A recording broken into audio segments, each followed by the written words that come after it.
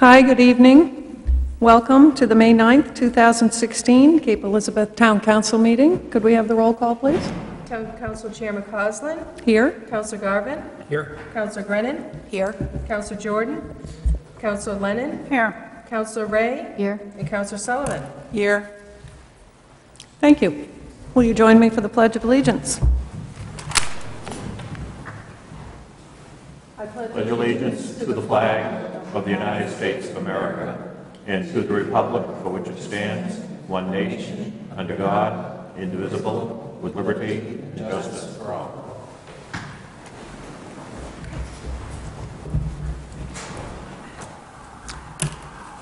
Town Council reports and correspondence. Do we have any council members who would like to speak tonight? Yeah, I Yes, just have um, two quick things. The first is that um, I wanted to announce that the next meeting of the Alternative Energy Committee is this next Tuesday, May 7th at 7 PM. The location is to be determined, but please check the town website for um, the agenda and the, and the location of that meeting. Also, the second thing is um, to announce that, um, just so there's a good notice for the community that in a continued effort to continue and expand um, opportunities for citizen input and engagement, uh, we ask that the community mark their calendars for our spring community outreach forum that is going to be held on Wednesday, June 8th, from 7 to 8:30 p.m. at the Thomas Memorial Library um, in their community room. And we ask people to join us so that um, we can, we'll touch base on a few of the hot topics around town, and as well, um, continue, as I said, to seek input from community members on on things they want to um, give feedback on. So that's it. Great, thank you. Any other councilors? Yes, Jamie? Thank you. Um, On last Wednesday, May 4th, the Spurwink School Committee held its first meeting, and I was elected to chair that committee. Um, Our next meeting is scheduled for May 17th, which is a Tuesday at 8:30 in the morning. Um, Briefly, on the, on the meeting we held last week, it was an organizational meeting. Um, Going forward, we'll determine a regular meeting schedule. We intend, uh, as with all meetings, to have them be open to the public and encourage public input, whether it's at the meetings themselves or through correspondence with the committee. One of the things we did discuss, though, is that we're not planning at this time to do any um, formal resurveying of uh, the town at large or other department heads um, to solicit more ideas for uses. We've gotten a pretty good um, sort of canvassing of input so far, and we plan to work with what we have. Um, And the last thing I'd say is that um, due to a number of scheduling conflicts, the committee is behind in kicking off its work. We were actually supposed to provide an update to the council today um, on, on our work to date, so uh, our work to date has been pretty minimal. Uh, But as such, we'll be um, requesting uh, extension of the, it wasn't really a deadline that was put forth, but the guidance to complete our work, at which point, um, at this point, we're actually looking at the end of July for bringing a recommendation forward with likely discussion at a September council workshop. So that's all I Great. have on that. Thank you, and congratulations on your new role as the chair of that committee, and thanks for stepping up to do that. Anyone else who has anything to report? No? Great. We will move on to the Finance Committee report with the links to the monthly financial report, and Mike, maybe you'll give us that overview on the Yes. dashboard? Yes? That's fine. The uh, finances continue to do very well, uh, particularly excise taxes, revenue sharing hold holding its own. Building permits are down for last year, but uh, ahead of bud- budget targets. uh, And and everything else is pretty much as expected. We we were helped by the light winter. Uh, I think everyone is aware. And uh, overall, we look to be in r- very good shape for uh, the end of the fiscal year. Terrific. Thank you. Any questions? No? I uh, ne- next month, we will, there's a couple of accounts that are always, show a little bit of stress, and Yes. we'll be looking for a little bit more money f- for those next month, but, but the monies will come from other accounts being underspent, so. And we have a few of those that look We pretty do. good. We do. I did have one quick question on the taxes receivable. Our rate is at 98.5%. Pretty typical? Pretty typical. Uh, Deborah uh, sent out last week some uh, reminders of, to folks that hadn't paid their taxes, and uh, in another week or so, she'll be sending out 30-day notices of tax liens to a few folks. And when folks get those 30-day notices of tax liens, they tend to try to pay up uh, before the 30 days expire. Anything else I should add, Deborah? No. thank you. That's it, Mike, on Okay. Next up, citizen opportunity for discussion of items not on the agenda. Is there anyone who would like to speak tonight to an item not on the agenda? No? Yes? You'll give us your name, address, limit your remarks to about three minutes. Thank you. Hello, my name is Tammy Walter. I'm the president of the Spurwink Rod and Gun Club, and I live at 1095 Sawyer Road in Cape Elizabeth. Um, the Last time, at the last meeting that we were here, I requested a a hardship exclusion for our insurance, and um, I'd like to clarify that request after looking over the materials that were provided from the town attorney. Um, So we are seeking an amendment to our license.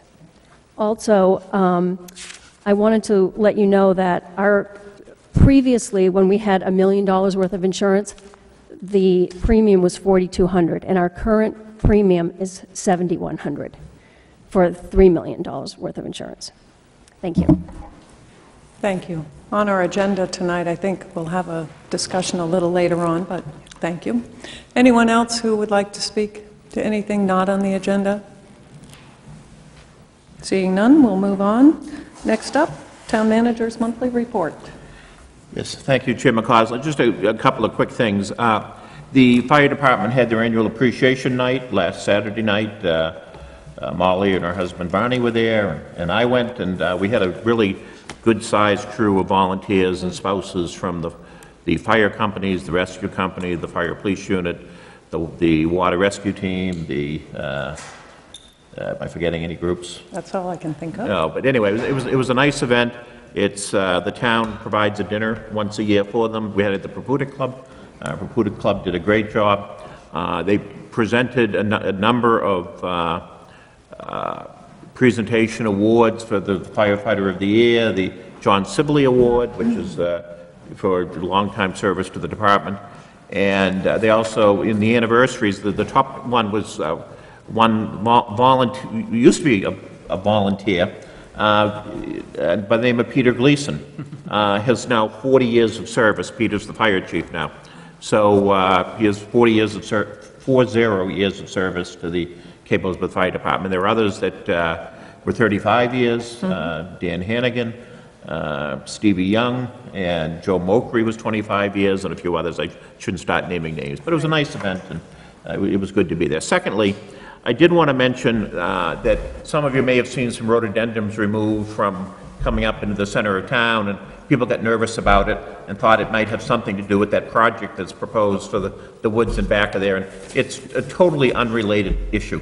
Uh, One of the town council goals this year was to, to beautify the town center, and that included looking at, that little spit of land in the corner is known as the top box triangle, that included upgrading the landscape plan there. We actually had a landscape architect come in and suggested there were too many rhododendrons, it was overgrown, that we ought to take some of them out, put some smaller plants in, and, uh, and also the front of the community center office building next to the IGA was all overgrown, kind of spindly plants there, and some, also some work on the front of the Cape Elizabeth uh, Elementary School where that, just that brick wall is. So a lot of people getting excited about it, They- they think something's going on uh, that relates to the development and back, and it, it really is totally independent of that.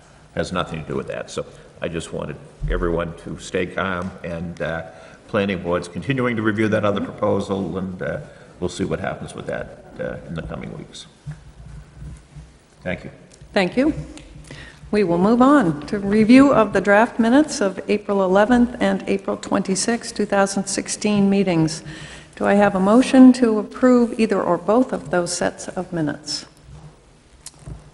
So moved on both? Second. Thank you. Discussion on both of those? Any comments, questions, concerns? No? All in favor of approving those? That's unanimous. And we will move on. We have a long agenda tonight, so I'm glad those went by quickly. We will move on to item number 58, the receipt of petitions regarding parking on Surf Road. Mike, will you introduce this item? I'd be happy to. The town council uh, received a couple of petitions regarding parking on Surf Road. For those that aren't familiar with Surf Road, it's the road that's offshore road closest to to Fort Williams Park. Uh, The petition was signed by a number of residents there, and they had two petitions. One suggested that parking be limited to residents only, and the other uh, was to ban parking on the side of Surf Road closest to Fort Williams Park. Uh, The chief of police, who's here this evening, uh, looked at the petitions. Uh, We also looked at how it might fit into our traffic regulations, and you see on your agenda here a list of all our various traffic regulations, where parking is allowed and where not, and uh, it's proposed to amend Section Q uh, to uh, comply or to be responsive to the request to have no parking on, on one side of the street. Uh, We didn't draft it one to have resident parking only. Both the chief and I feel that there's administrative requirements, burdens to that. There's issues of when people have company, when, uh, you know, all just, all sorts of complications you get into that we'd prefer not to deal with. But anyway, the recommendation is that you set this for public hearing at your regular meeting on June 13th. Thank you. Do we have a There may be motion? members of the public here to speak on it, too. Thank you. Is there anyone from the public who would like to speak on that issue? No? Seeing none, I'll look for a motion to send this to a public hearing on June 13th. Sure. Thank you, Patty. Yes, um, I move that we set a um, public hearing on the proposed amendment um, for Surf Road parking on Monday, June 13, 2016, at 7 PM um, at the Cape Elizabeth Town Hall. Thank you. Is there a second for that motion? Thank you, Sarah. Any discussion about that? No? All in favor? Any opposed? No? That passes unanimously. Thank you, Michael. We will move on to the next item, which is number 59, the Inn by the Sea annual licenses. And Deborah, will you brief us on this? Yes, thank you. Uh, This evening, the town council has received the annual liquor licenses from Inn by the Sea for malt, vinous, and spirituous licenses, and a special amusement permit, again for Inn by the Sea at 40 Bowery Beach Road. Uh, As we do with all our liquor requests, we run this by our fire chief, police chief, and code enforcement officer. Uh, There have been no uh, objections or concerns raised. Uh, Mike Briggs, the general manager of the Inn by the Sea, is here this evening. If anyone should have any questions, uh, the recommendation is to approve. Thank you. Do we have a motion to approve? Yes, Caitlin. I just have to disclose that my family's business does business with the Sea. Thank you. Any concerns? Yes. Oh, no, I was going to move that we approve the license. Thank you. Is there a second for that? Thank you, Jessica. Any discussion? Any questions? No? All in favor? That passes unanimously. Thank you for coming and welcome to your new job here. Just if if I Yes. might. Michael is, uh, this is Michael Briggs, for those that are here. He's the new general manager of the Inn by the Sea. He's been at it for since February, couple? Since April.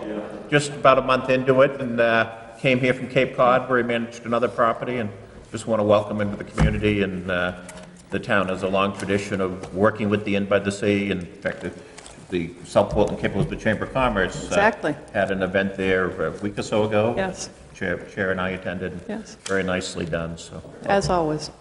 Thank you. Very much. I'm looking forward to, looking forward to my family here eventually. Great, Welcome. Thank thank you. you. Okay, we will move on to the public hearing on the fiscal year 2017 budget. I will open the public hearing. At this point, is there anyone who would like to speak? Seeing no one, I will close the hearing, and we will move on to item number 60, uh, dash 2016. Would the finance chair like to introduce this item? Kathy? Um, Yes, uh, what I'm going to make a motion on is to, um, that the general fund budget contained items 60 through 65 be tabled to a special meeting on May 19th, 2016, for the purpose of keeping within that 30-day voting piece, um, then it goes to the voters, so I make such a motion. Thank you. Do we have a second for that? I'll second that. Thank you. Discussion? No? Any questions? All in favor? Any opposed? No? That passes unanimously. That's great. We will then move forward to item number 66. And again, could I ask the Finance Chair if she would like to introduce this item? I would, but some reason it's not in my packet. Could somebody help me with which one it is? Thank you. Um, Okay, so we've got the Cape Elizabeth Rescue Fund budget. Um, So I move that we, uh, okay, we- we've held a public hearing on this as well, Mike? This public hearing was Is this separate? on the fiscal year 2017 budget, which would include all of those items all the way through number 74, se- yes, 74, no, Okay. 75. Okay. Land acquisition fund, no, 74, sorry. I think so. So unless anybody has um, an objection, I thought that we would take these separately, because there may be some questions on some of these items the counselors may have. We could do them in block, but I am suggesting that we do them separately. It won't take that much longer. I, that right? yes, I think that's great. Okay. And I'd asked for uh, you to introduce, particularly starting with number 66, and I agree. I think unless anyone is opposed, I think it's probably better to go through item by item. Okay. Thank you. So um, I would like to move that we approve um, the Cape Elizabeth Rescue Fund budget with expenditures of $440,936 and approved revenues of $390,000. Thank you. Is there a second?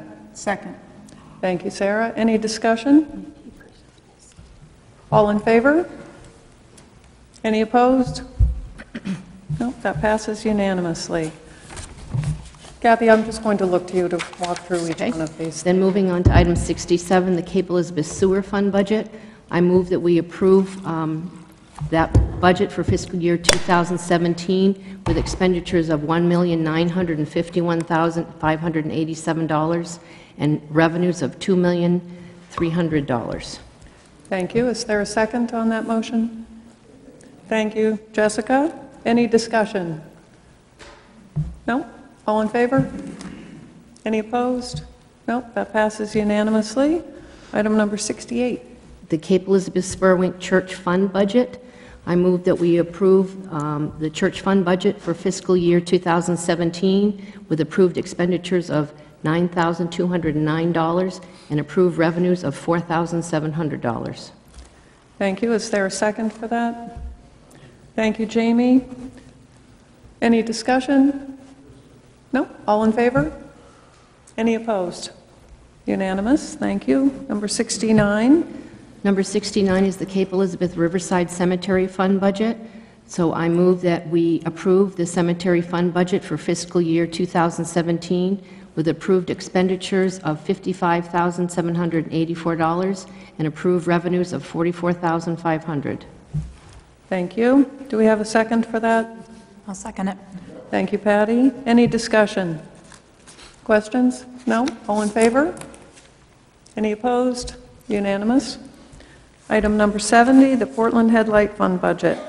Thank you. I, um, I make a motion to approve the Portland Headlight Fund budget for fiscal year 2017 with approved expenditures of $555,800 and approved revenues of $543,230. Thank you. Is there a second on that? Thank you, Sarah. Any discussion? All in favor? Any opposed? Unanimous. Number 71, Fort Williams Park Fund. I move that we approve the Fort Williams Park Fund budget for fiscal year 2017 with approved expenditures of $484,100 and approved revenues of 195,650. Thank you. Is there a second on that? Thank you, Jamie. Discussion? Yes, Jessica? Um, Yes, um, I would like to ask the town manager to review the process of, the- of this fund. Um, I do believe we're going to look at it later this year. Um, there- We have just received a priority list of items, and at what point will the council be able to review that list? Um, Could you elaborate? Yes, please. Yeah, uh, thank you. The, uh, one of the town council goals this year is to review and approve a conceptual plan for the bleacher area of Fort Wayne Park. And the, the- the major uh, recommended appropriation actually is to uh, improve the bleacher area of Fort Wayne Park. So, you know, it it indicates that that would come back to the council in June, but that first would be reviewed by the Fort Williams Committee.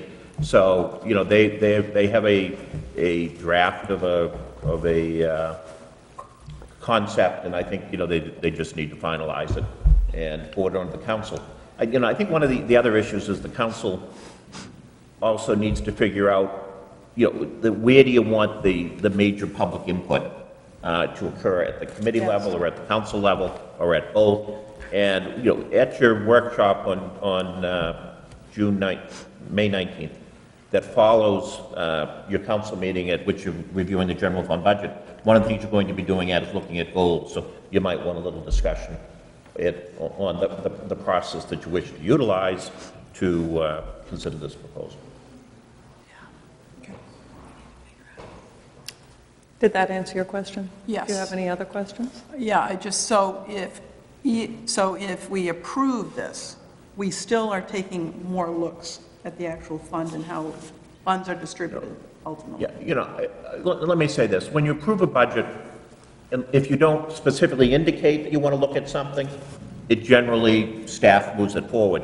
In this case, there's a particular goal that says you want to review and approve the cons, you want to approve the plan. So in this case, yes, you'll see it, but when it comes to, you know, the, the minor repairs of, you know, the, the, the lesser amounts, the, the improving of fencing and, you know, a couple of other minor things in there, you know, we wouldn't hold, the- unless you directed us to, we wouldn't hold those small ones up, uh, because you did indicate that you wanted to review the concept plan, so there's.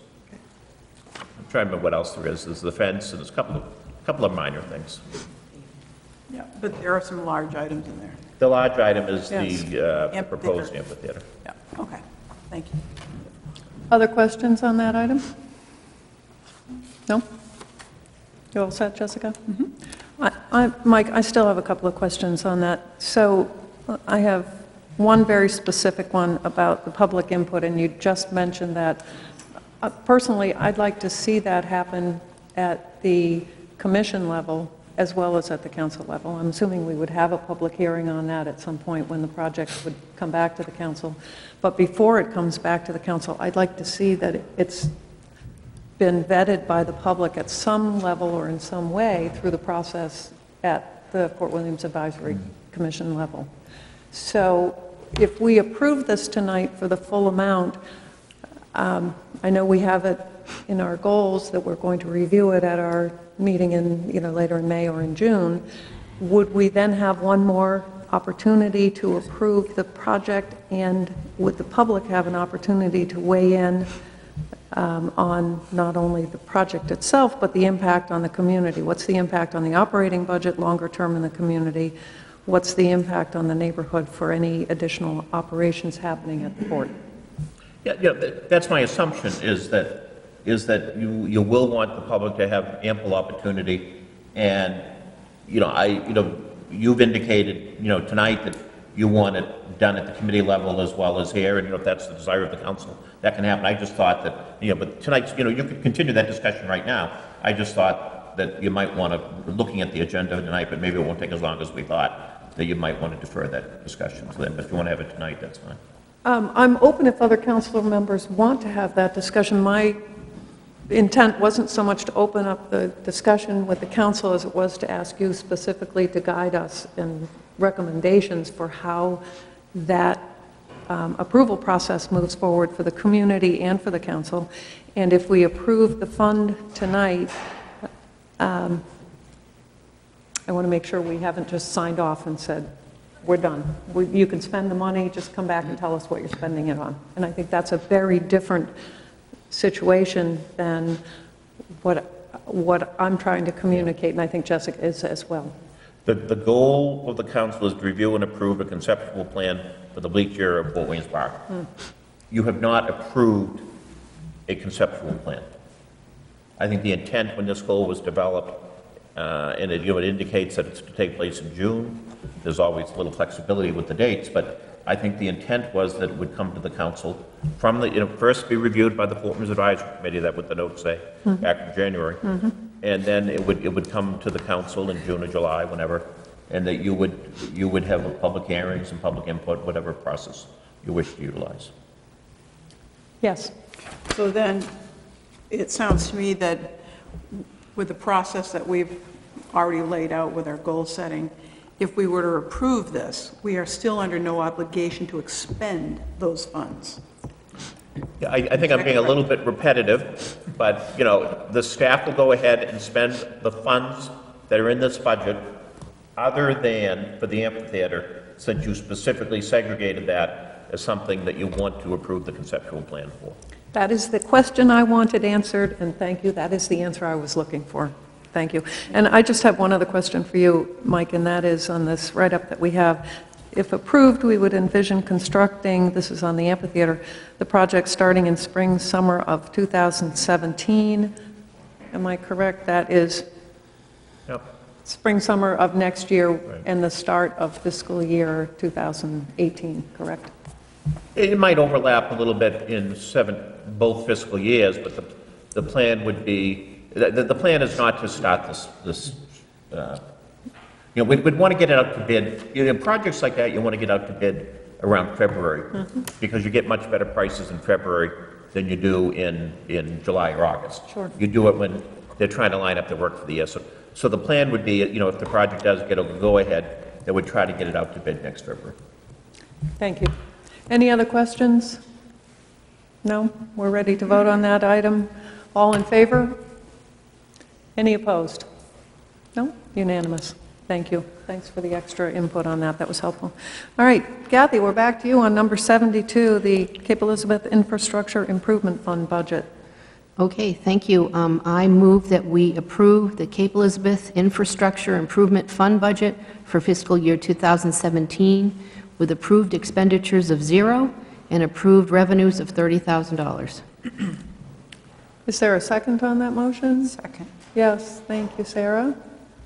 Comments, questions? No? All in favor? Any opposed? We will move on to item number 73, the Thomas Jordan Fund budget. Kathy? Thank you. Um, I move that we approve the Thomas Jordan Fund budget for fiscal year 2017 with approved expenditures of $52,035 and approved revenues of $40,000. Is there a second? Thank you, Patty. Discussion on that? Yes? Yeah, thank you. I just wanted to point out that if you look back at the original budget document, the approved, ex- the recommended approved expenditure was less than that. The, the reason for the variances is that the Thomas Jordan Grants Committee met recently, and they decided to vote to approve, I think, up to seven slots in preschool uh, to help out families that otherwise couldn't send their kids to preschool. So for that reason, uh, there's funding provided in this number for that as well. There wasn't any formal discussion with the Finance Committee, but I just want to make sure that if if anyone went back and checked all the numbers to explain uh, why the number has changed. Thank you. Any other comments or questions on that item? No? All in favor? Any opposed? That's unanimous. We will move on to item number 74. And Kathy, I'm not sure which draft you're reading from. I will just say that um, this... Obviously, the wrong one. No, no, I- it, there's a typo in here, or just something that got carried over from the item before, and Okay. it says we're approving, again, the Thomas Jordan Fund, so just insert the Land Acquisition Fund in that language. Okay, so um, I move that we approve the Land Acquisition Fund budget for fiscal year 2017 with approved expenditures of zero and approved revenues of $32,014. Thank you. Can I have a second on that? Thank you, Jamie. Discussion? Nothing? Mm-hmm. All in favor? Any opposed? Nope, that's unanimous. And we will move on to, I think at the beginning of the next page, we just have the summary of all of those items. So we are at this point done with all of the budget items, and we'll move into item number 75, the Land Acquisition Fund appropriation. Do we have any members of the public who'd like to speak to this item tonight? No? Chair MacAuslan, before we get into this item, I just wanted to um, make mention of my living uh, in very close proximity to this property and having personal relationships with some of the property abutters that uh, this will impact, so Thank you. Anyone have any concerns with that? No? Okay. Thank you, Jamie. So seeing that we have no one who would like to speak from the public, Mike, would you like to introduce this item? I- I'd be happy to, and and Maureen is here as well. Uh, For quite a few number of years, uh, the town planner's been working on this issue, at times the land trust worked on this issue. And, and what the issue is, is we own, if you look at the map over here, where Lovett Woods is about 18 acres, but that extends, if you look at then the map on the right, into all of the Robinson Woodland, which is all that yellowish goldenrod color, and then all of the green that's sort of uh, on the left side of that, heading, heading north, all the way up to this, this one, almost to this one lot at, at the very top. And, uh, you know, it, it, it doesn't close the deal for, for totally connecting. Because if you look at the map on the left, there's a small piece that's on the Bryant property uh, that would uh, need at some point to be acquired in order to get a connection there. And there's also a small piece at the end of Glendon Road that, that remains private property.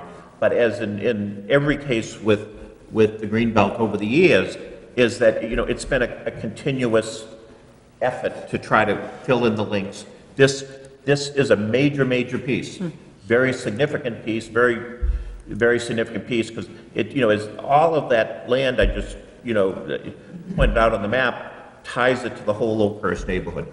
Uh, We went back and forth quite a few times with the, with the property owner. Uh, Yeah, you know, the, uh, it, it's, it's quite a bit of money, you know, we, we, we realize that. It is all proposed to come from the Land Acquisition Fund. Uh, Maureen and I, and as well as the Conservation Commission, believes it's a good investment, and uh, Maureen met with the Conservation Commission uh, when they, she was there when she discussed this, and maybe she might like to relate as well the Conservation Commission uh, recommendation. Thank you. Thanks, Maureen. So uh, the Conservation Commission asked me to work on this. I've been working on it since before 2012, so it it has been a long road. Um, Their recommendation, they met last week, and their chair is out of town this week. That's why there's no one here, but they care. Their recommendation was to strongly recommend purchase of the Willens lot for the asking price of 75,000, and note that it had- correlates with many of the goals of the 2013 Greenbelt Plan. Thank you. Any questions? Anything else you'd like to say? I could go on at length. I didn't want to do that unless you wanted me to. We'll let you stay there for just a minute, and we'll see if there is a motion on this item. Yes, Kathy? I move that we authorize the town manager to purchase a .89 plus or minus acre lot adjacent to 8 Rockwall Lane for conservation purposes and to authorize the expenditure of 75,000 from the Land Acquisition Fund for the purchase and such additional small amounts needed for filing fees, etc., related to the purchase. Thank you. Is there a second? Thank you, Sarah. Discussion. Any questions for Maureen? Yes, Caitlin? Would the development plan the trail be, um, like, will we be advertising that there's a trail in there immediately after the purchase, so We, the policy of the town is not to create dead ends, and we never show, show trails where we don't have legal public access rights.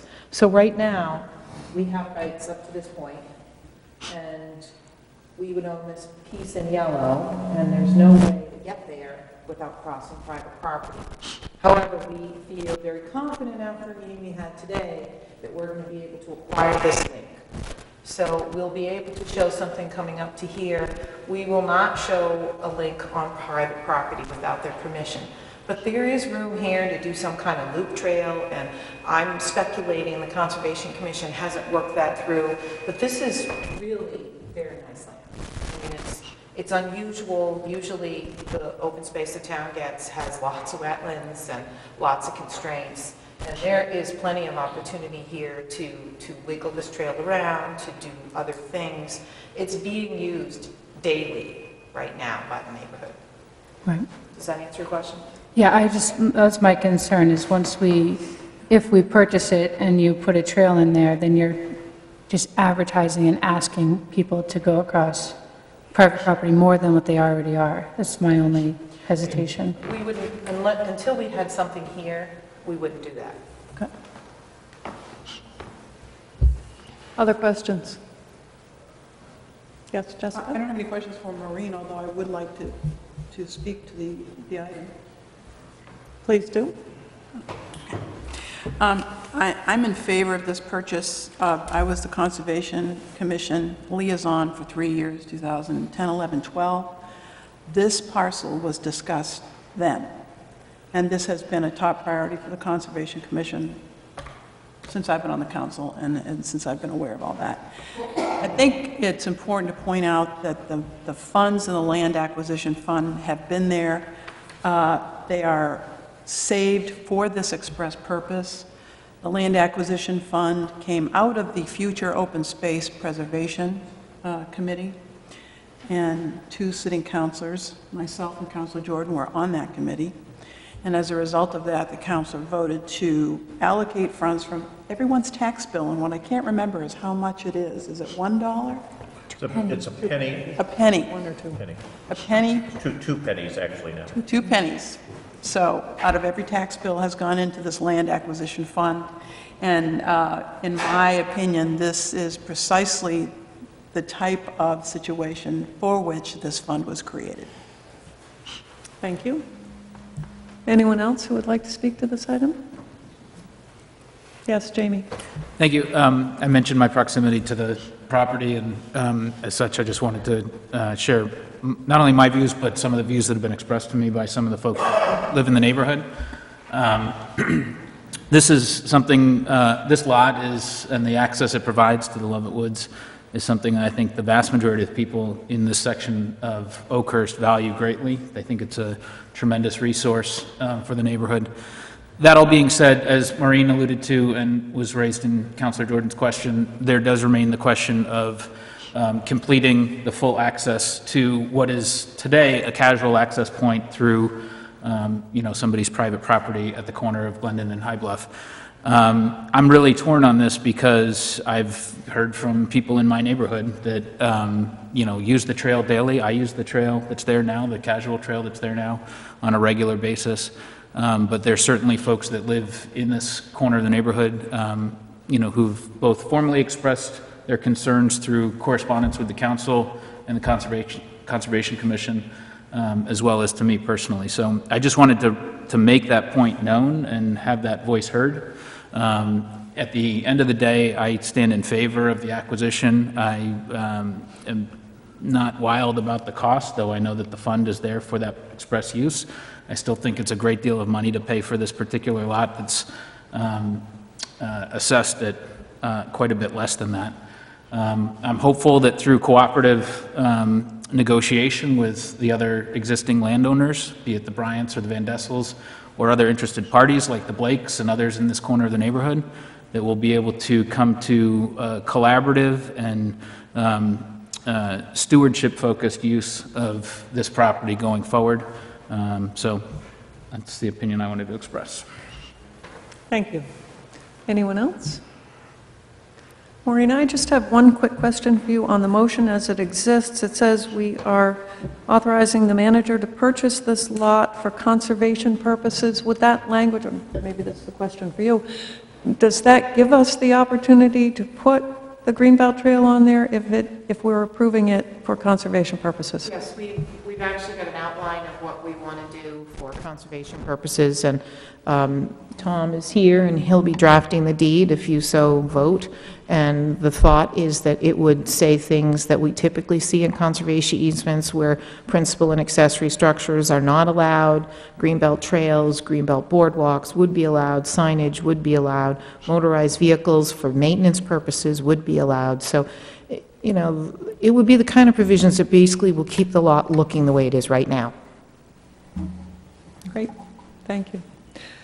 Um, I, too, will be voting in favor of this, and as the uh, liaison to the Conservation Commission for the last two, and this is my third year, um, we too have been talking about it for a long time, and it is a pleasure to have something like this come along and to be able to have the funds available in that land acquisition fund. And um, I just made a couple of notes on some items from the Greenbelt Trail that I thought were particularly interesting in this particular case, that um, by the time that we get this uh, fully accessible, will open up access to the Greenbelt system for close to 200 homes in the Oakhurst area. That is astounding to me. I think that is tremendous and give people access, as you pointed out, Mike, all the way down through, really almost all the way down to Great Pond, is that right? Yes.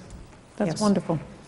And um, uh, we have a number of other goals in the 2013 Greenbelt Plan, including preserving open space in its natural state, preserving habitat, and Jamie spoke to this a minute ago as well, formalizing trails, including those in neighborhoods with casual trails that will provide um, now legal access.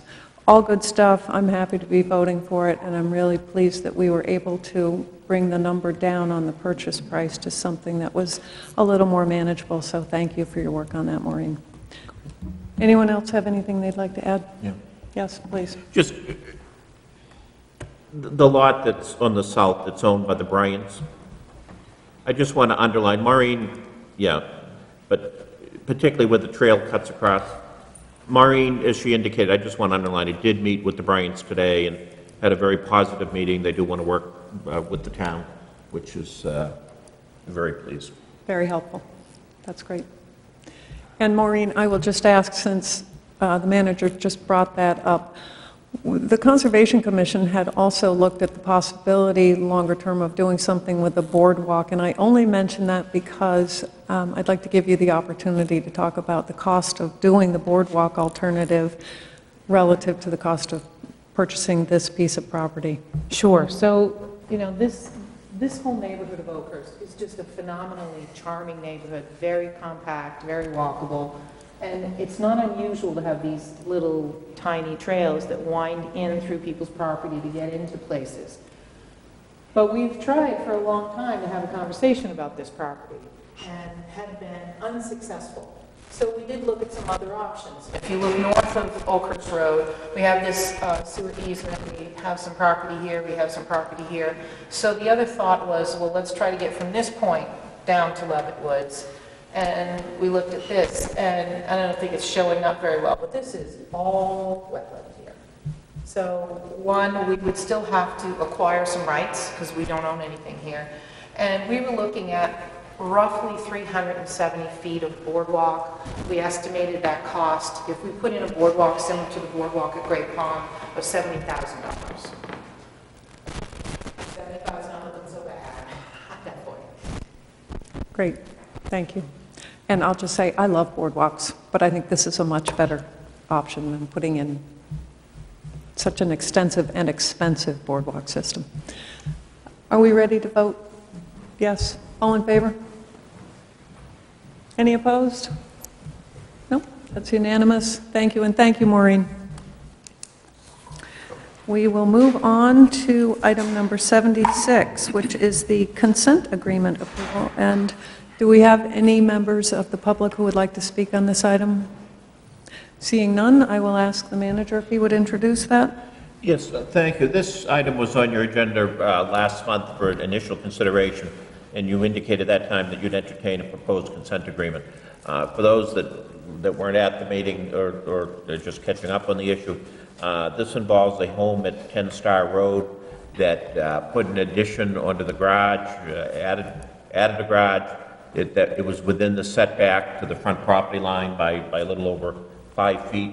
Uh, This was discovered as they were trying to sell the house to have a survey. Uh, They had, had a survey done, and, you know, the, the owner himself was the contractor.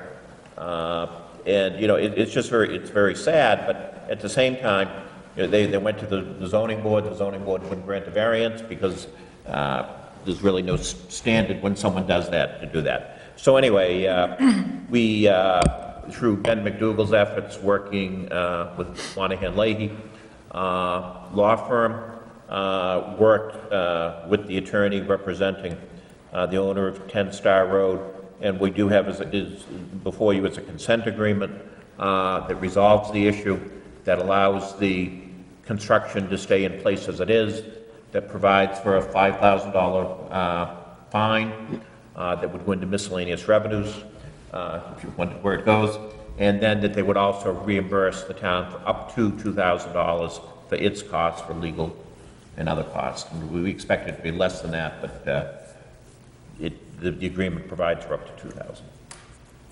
Thank you. Do I have a motion to approve the proposed consent agreement? So moved. Thank you, Patty. Do I have a second? Thank you, Jessica. Any questions? Jamie? I just have a question for the manager about how the fine amount is, arri- gets arrived at. I know that there were, there have been previous examples of things like this, and I don't recall whether or not the fine was the exact amount or different, but I feel like it was different. So anyway, if you could just speak to that. You know, I- discussed it with Ben McDougal, discussed it a little bit with the council chair, discussed it with, with our attorney, uh, and, you know, it- there's, what we didn't, don't want is a set formula, that for every foot, it's so much money. And I look at it, it's, it's a little like the Richter scale of earthquakes.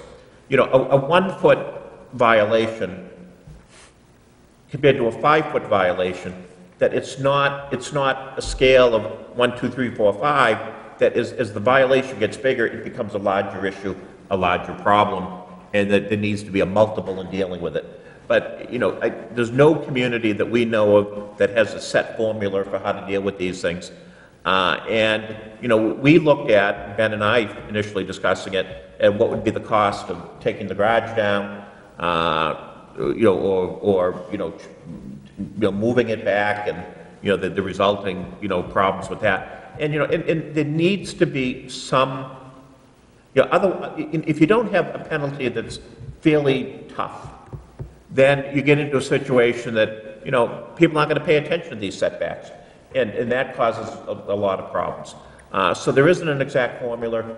It, it, it seemed to be the right amount based on these circumstances because it was, it was a fairly sizable, uh, uh, issue. And there was, and there were some other issues which I, which I won't go into, you know, that, that I don't think add to the public dialogue, debate, uh, in, involving some other issues involving the property that, that this amount seemed appropriate. But th- there's no magic to it. Thank you. Other questions? No? All in favor? Any opposed? That passes unanimously. We will move on to item number 77, the Spurwink Rod and Gun Club Insurance Hardship Request. I know that we have our town attorney here. Thank you, Tom Leahy, for coming tonight. Uh, Michael, would you like to introduce this item? Yeah, I'd, I'd be happy to briefly. Uh, The town council received a while ago, as, as uh, uh, Tammy mentioned uh, earlier in the meeting, uh, a, a request for a, uh, an amendment to the ordinance or a hardship. It was clarified through the town attorney, working with the, the, the gun club, that they really weren't asking for a, an amendment to the ordinance.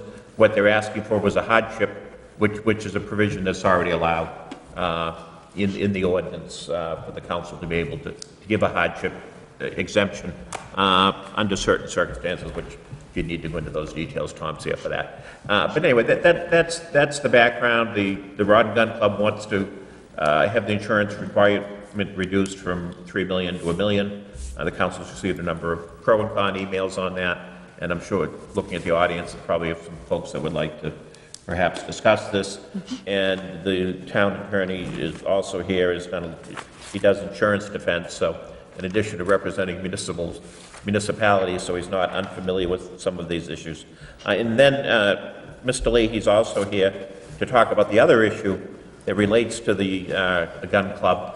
And the the governor recently signed a bill, LD 1500, uh, that involves the commu- the communities like Elizabeth municipalities' right to regulate gun clubs. And he's looked at that law, and uh, he he's available this evening to share his opinion on how that might affect Cape Elizabeth. Great, thank you. So why don't we start with any members of the public who would like to speak to this item? Is there anyone who'd like to come up? If you'd like to speak, would you come right up to the podium, give us your name, your address, and try to limit your remarks to about three minutes? Thank you.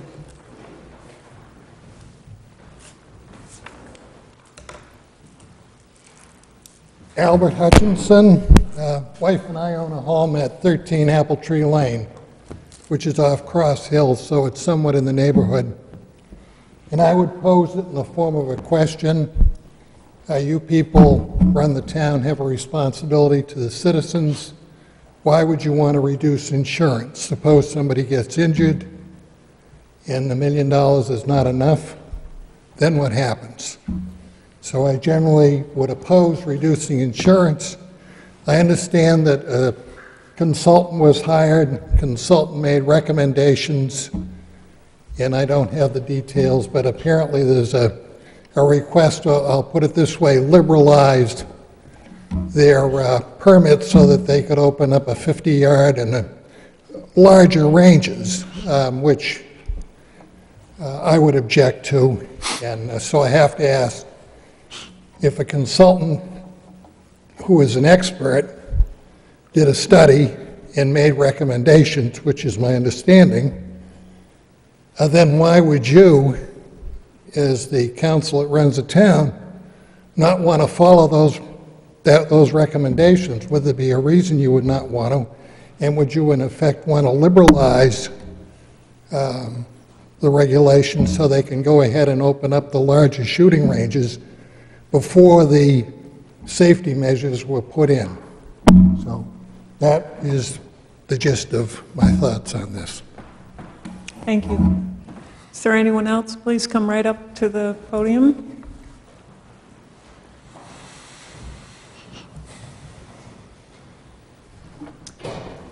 Hello, I'm Eric Stephanus, uh, number two, Tiger Lily Lane. I'd like to speak against the, uh, mo- the motion to reduce the uh, insurance uh, through a hardship request. First, let's review the facts. The $3 million figure is an estimate of the level of insurance necessary to shield the town from a liability lawsuit.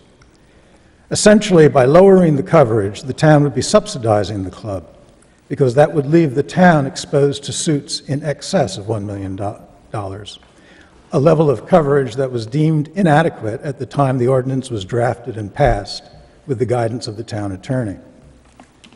The risk the town would, be, would take by reducing the $3 million amount is actually a risk to be assumed by the taxpayers of the town, because taxpayer money would have to be used to settle any lawsuits in excess of 1 million. So those are the facts. Now, I object to having taxpayer money used to backstop a politically affiliated group, which is, of course, what the club became five years ago when it made NRA membership a mandatory requirement for club membership. And before someone comes up here and calls me a gun hater, let me make it clear that I have nothing against gun ownership and I support the Second Amendment. However, I vehemently disagree with the powerful NRA funded lobby against rational regulation of guns in schools, places of worship, establishments that serve alcohol, as well as other NRA positions on issues such as private sales of firearms. With 5 million members, the NRA represents less than 2% of the American people and only about 5% of the estimated total of American gun owners. By switching to compulsory NRA membership, the club has automatically excluded at least 90% of Cape Elizabeth residents. By the way, I understand that at the time of the switch, even a number of club members resigned because they disagreed with NRA policy positions. This radically changed the relationship of the club to the community. The important point here is that the town should not be backstopping the local affiliate of an organization with a public policy agenda which many people in town, perhaps a large majority, may strongly oppose. Before using taxpayer money this way, I would suggest a town referendum to see if the citizens agree. The town has already given the club a free pass when it magnanimously absorbed the cost of the professional safety evaluation, which was actually the responsibility of the club to obtain as part of their shooting range license application. Moreover, the assertion of hardship seems to have little merit. The club keeps its dues much lower than other clubs, gun clubs in the area. It's not the town's responsibility if the club decides not to ask their members to pay reasonable market rate dues to meet expenses.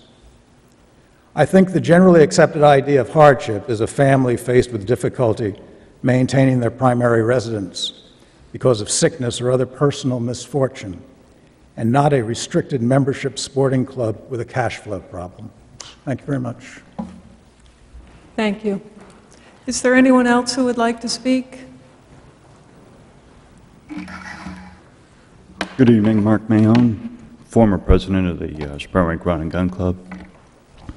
Uh, I would first like to thank very much the Friends of the NRA who have supported our club with very large grants of money since we have uh, become a NRA uh, required uh, membership. As far as our dues go, many of our members are on fixed incomes, and we have raised our dues almost, almost 100% in less than five years. That is very painful for many members to have to absorb. We ask some members to pay for members who can't absorb that cost, and so far we have had members step up to the plate to pay for people who can't. Um, our safety evaluation that we provided uh, for the town um, was not acceptable to the town. So the town found one that was acceptable to them. And so the notion that uh, we did not supply something is a false notion. Um, one of the things that our club has really worked very hard at recently is to work with uh, the reasonable neighbors in our in our immediate vicinity to get input from them to what they would like to see the club look like. And we have been working towards that recently uh, you know, through volunteer, uh, through our members volunteering to do stuff around our club. So we're trying very hard to be, um, we're trying very hard to be a productive member of this community. And we really uh, appreciate the work of the people in the town who have helped support us. And uh, we just want to be able to give back to the town in the capacity that we can for what we do. Thank you. Thank you. Is there anyone else who would like to speak? No? Um, At this point, unless any council member feels differently, I would like to ask our attorney to come up and talk to us a little bit about what we have heard tonight, and um, if anyone has any specific questions. Uh, I think we have two separate letters from you on the insurance request, as well as some guidance on the um, uh, changes potentially coming our way based on the new legislation, LD 1500. So um, you tell me, would you like to start with the insurance or like to give us the context first in LD 1500? Well, the uh, LD 1500, uh, Madam Chair and members of the council, um, is a law that's been approved. It's not yet effective. It's not effective until July 29th of this year. So this application tonight for a uh, amendment to the license of the Spurwink uh, Rod and Gun Club uh, needs to be reviewed by you under the ordinance provisions for hardships. Um, The, um, I believe the record would show that um, Tammy Walter first presented some evidence about the increase in insurance costs if they would increase the insurance from 1 million per occurrence to 3 million per occurrence. And then saw the testimony uh, from. Mayon um, on the issue of dues. So I was not, I was the town attorney through the time of adoption of this ordinance. For various reasons, from time to time, the town uses other attorneys. So I really am not privy or have any uh, insight on the establishment of a $3 million per occurrence liability insurance requirement. Um, I should point out that that provision goes further and states that the applicant shall have insurance, but then it goes on to say the applicant shall hold the harm harmless at town as well. So there's a legal obligation to hold the town um, harmless from any liability, and then insurance is the uh, mechanism we would look to mostly to uh, address that. Um, As far as uh, what standard, I- don't represent gun clubs, I don't know what standard, no one, uh, what we have is the applicant stating to the town that NRA does provide through a partner liability insurance to, and they have over 9,000 ranges, and that um, the limit of insurance, liability insurance provided is 1 million. Um, So as far as standards, I mean, that implies that that is a standard requirement. Um, I do mostly commercial uh, transaction work.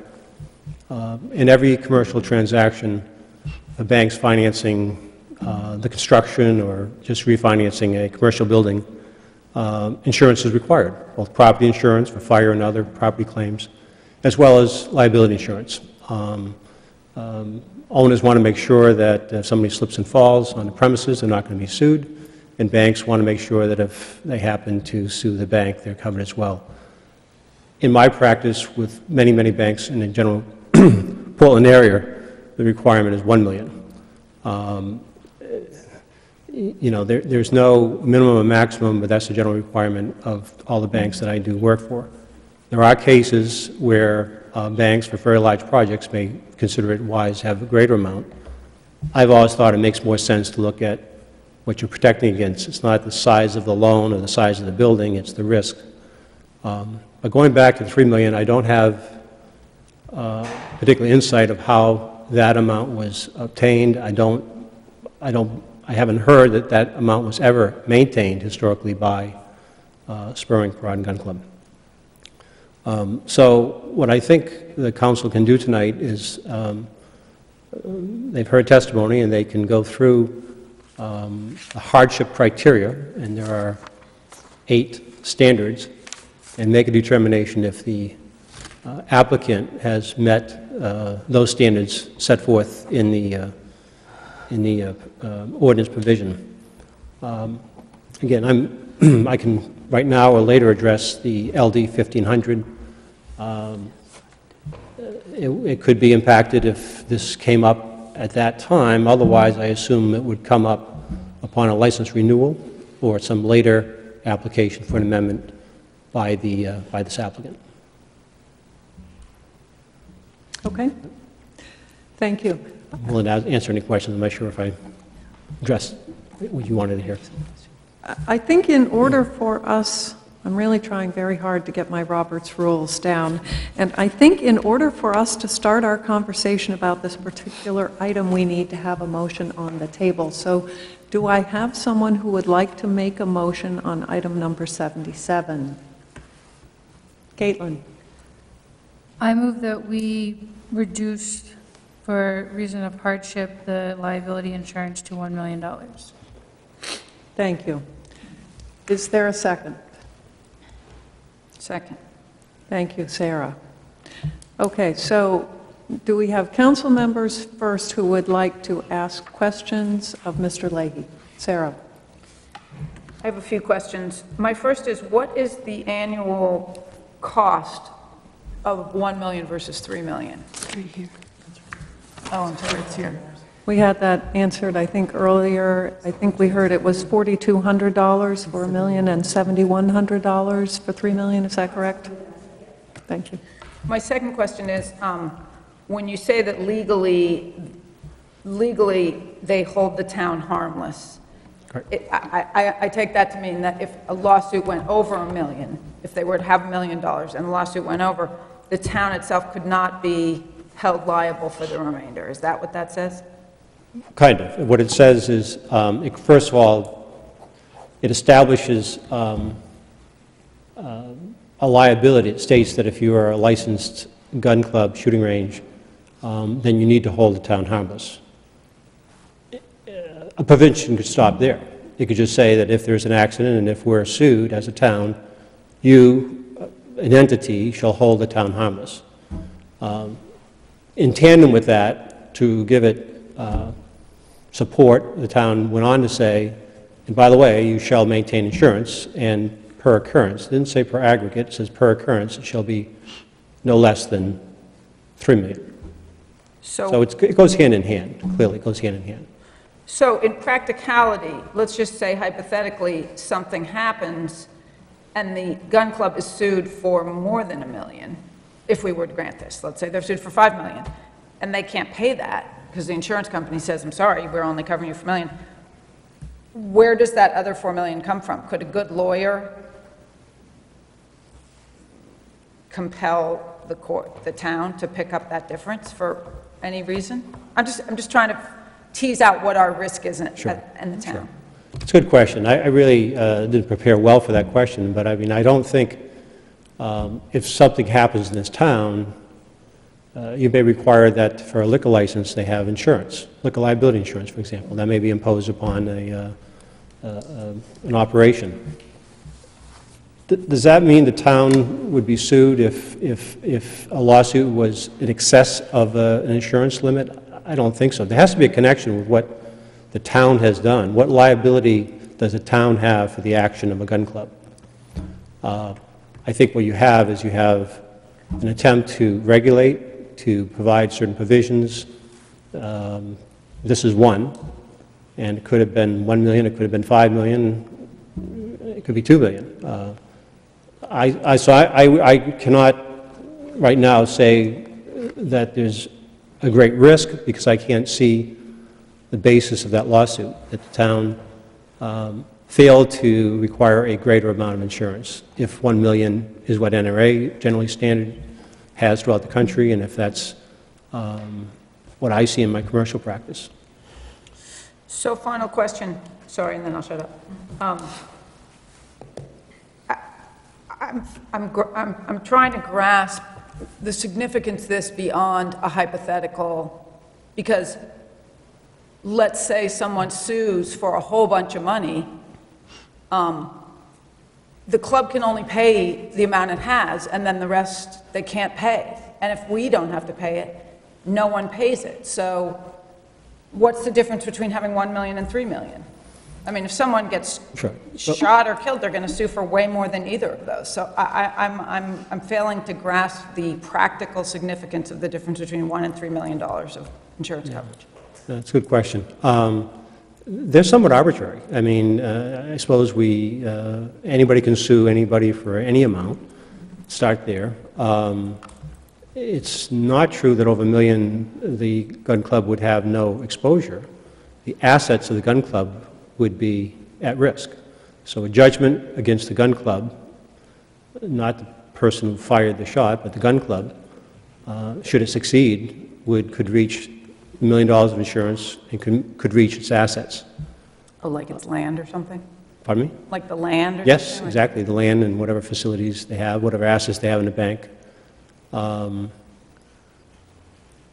it- it- It's a, it's a matter of degree, there's no question in my mind. Um, It's, it's whether it's good governance to require, I mean, you- I could see the town would never be questioned, on one hand, if they require more insurance for any activity in town, because it's just good to have more insurance. I can see that.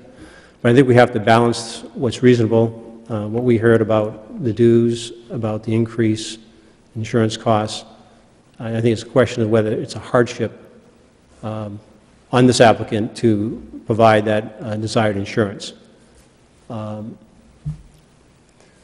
So let- let's, I'm going to transition a bit to the state legislature, uh, recently adopted LD 1500, because that relates to this a bit, uh, Counselor, um, in this respect. What the state has said, effective July 29th, um, is that so long as the club conforms with generally accepted safety practices, or constructs its facility for shot containment, not reasonably likely that a shot projectile would leave the uh, range, um, then you can't enforce your, cannot enforce your ordinance to the extent it would limit or eliminate the activities of the range. So then the question is, what does that mean? Does that mean you can't impose a requirement that they put up signage uh, to prevent access, or um, locking of a gate to prevent access, what have you? No, I think that's probably okay. I think that's within reason. But when the regulation reaches a certain point, um, I think it's not a hardship, it's whether that regulation is limiting uh, the historic activities of the club. Let me give you a non-controversial one, perhaps. Let's say the club operates from 8 a.m. to 5 p.m. each day, historically. Um, I don't think an ordinance could be uh, applied to that club after the effective date of LD 1500, which would say they can only be open on Saturdays and Sundays, um, noon to 5, and close the other five days of the week. I think what the legislature was saying is that that sort of regulation uh, that would limit its historical activities is not allowed. It's been preempted by the state. And the, and the uh, application of the ordinance uh, to uh, a party, gun club or range, um, cannot be enforced. Um, That's under the uh, preemption, and whereas under home rule, you can adopt regulations um, that are not expressly or impliedly restricted by the state, uh, this is an area where I believe the state has preempted the town, whether it was noise historically or now other regulations beyond noise. So I think the easy question would be something like the hours of operation. I think that's pretty clear that any, no town could say you can only shoot for two hours a week instead of um, seven days a week. Um, I think when you get into the finances, uh, or the financial impact, I think it's a little different, it's a little vague, more vague, in my opinion. I said, if it's uh, denying uh, access by the public, by children, signage, I don't think a court would say the town is pro- prohibited, preempted, to regulate that far. But I think when the regulation is such that, you know, it crushes a range uh, financially, uh, it would. So, does this, I'm not saying it does or it doesn't, I think those can be a factual determination by any town if it's reviewed under the legislation not yet effective. But tonight, I think you're reviewing this under hardship. Um, I provided a draft motion just to have something in front of you to uh, list the eight uh, criteria, and obviously, it's not for me, it's up to council, council member if that's uh, uh, appropriate. Thank you. Kathy? Do we have that? Because I was looking for the eight items. We do. Is it off of the, uh, is it part of the, um, maybe I can, That come in an email thing? Want me to pass that down? I'm sure I can find it if I can find it. Councilor Ray, I have an extra Is copy if you'd like. it under supporting documents? It wasn't there. It was a draft It's that came out today, and it came in an email, I Email. think. Email today? Okay. Draft, May 9th. Thank you very much. Thank you. Other questions? I just have a question, I, um, if it's okay. When they look at the $3,000 amount, do we have... The $3 million? 3 million, excuse me, $3 million amount that was set previously by the shooting range committee and put in the ordinance. It, I know that, Tom, you said you weren't involved in setting that. Um, Correct. Is there any, ra- can anybody speak to, Mike, or what was the rationale originally of why that number was chosen, or how we got there? Or Caitlin? It it wasn't the shooting range committee, it was the ordinance committee that put the 3 million into the ordinance, so I had nothing to do with that, Okay. And I other would- than voting to when I approved the whole ordinance.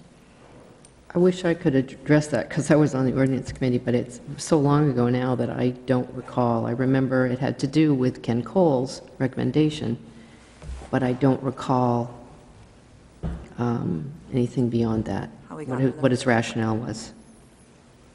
Yes, Yep. Jessica? I, I agree as well. I mean, it- you know, we had hired um, Ken Cole at the time. Um, The other uh, change since then is that at the time, that, the Spurwink Rod and Gun Club was an open range. It is no longer an open range. To me, that's a a very huge difference. Well, it's half So, and half. pardon? It's half and half now. Well, we have the the 25-yard range is covered. But you mean the 50 and the 100 still. They are closed. It, The range can't, They- they They're not. They're used. not allowed to, they can only fire in the 25-yard range because that is enclosed. They, they will be applying in the future for, for a permit to operate on the, in those other yardage ranges when those have been built and covered. If LD 150 doesn't preempt that. Correct. And I- Necessity. let's stop that conversation right now, because I, I want to ask our attorney to weigh in on that, but I want to finish the, the question we had on the table about the $3 million or the history of that coming out of the ordinance committee. Anybody else? Michael, do you remember anything about that? Do you know where that came from? No? Okay. Jessica, what you're suggesting is I was that, just saying that I- that I recall, it was the recommendation of Mr. Cole, and the ordinance committee um, went along with that. Um, But again, at the time, it- at the time, it was a completely open range. That's no longer the case. Right, and you're talking about the fact that it's now a no blue sky correct. range, on- at least on the 25-yard range? Okay, great. Other questions? Anybody on this side of the table? Yes, Jamie? Point of clarification for the attorney. Um, So the uh, eight provisions for hardship, it is a and, not or stipulation, right? So all of these have to apply. That's correct. Thank you. Thank you. Any other questions? Yes, Sarah? Sorry, I'm taking up too much airtime. No, go ahead. Um, I, for me, whether those other two ranges are going to have to fall under the- the current ordinance or not is a huge factor in this, and I don't yet understand LD 1500 enough to know whether that state law is going to sort of unshackle them from that requirement, or whether they want to do it anyway, or what the tension is. Personally, I feel unready to vote on this because there, it's, there's still too many moving pieces here, unless we can understand LD 1500 more, more. Would you like to speak to that, to Sarah's question about the 50 and 100-yard ranges and, and the approval process for licensing them under LD 1500? Um, Yes. uh, So I think the way it plays out, as I said, is there, um, for example, today there's a conditional or limited license issued to Spurwink to the 25-yard shooting range portion of their premises. Only those operations are currently allowed under the license that was issued. That's my understanding. Um, If they wish to open more target ranges, um, longer target ranges, um, I think the code enforcement officer fir- has to find that has met the standards of the ordinance, the containment, safety standards of the ordinance. Um, The um, La Rosa report accepted by this town found that it did not meet the shot containment um, requirements of the ordinance. And then it later met the 25-yard range shot containment. So I think they still need to reach, to meet shot containment requirements of the ordinance, and I don't think that's changed by state law, because the state law states it either has to uh, conform uh, to the generally accepted shooting range practices, or be constructed so as not to allow a projectile to leave the range. When I read that the first time, I said, why either or? What's, what is the legislature trying to do here? Because I, I really wasn't quite sure why it was written in the uh, disjunctive. And I looked at it more carefully, and it said, when I think about it, you could have a totally enclosed shooting range in this room with 10-foot walls, and it's constructed so that a projectile may not leave this room. Don't have to come forward, the applicant does not have to come forward and show that the practices uh, are met, the- the practice standard, the generally accepted range practices. You know, on the other hand, um, you may be in uh, Aroostook County, 10 miles from a neighbor, and the range isn't constructed to meet any standards. But the operation meets the generally accepted safety practices. So it seems to me that, you know, a range could come under either of those two standards and say, I meet these standards, and a town cannot regulate me in a way that limits or eliminates our ability to do what we have historically done.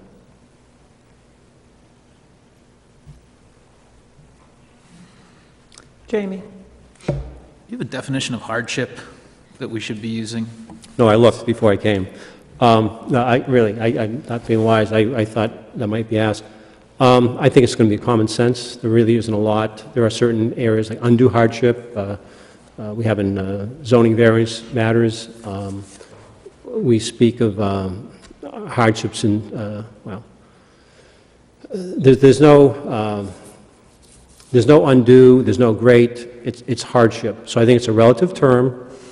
Um, In the financial uh, arena, if we're talking about the financial costs of this insurance versus that insurance, personally, I think I would look at um, what the cost difference is, maybe what the total dues are, what the cost uh, increase has been to, it would be rather to meet the, uh, um, the, the the requirement of $3 million uh, per occurrence uh, liability coverage.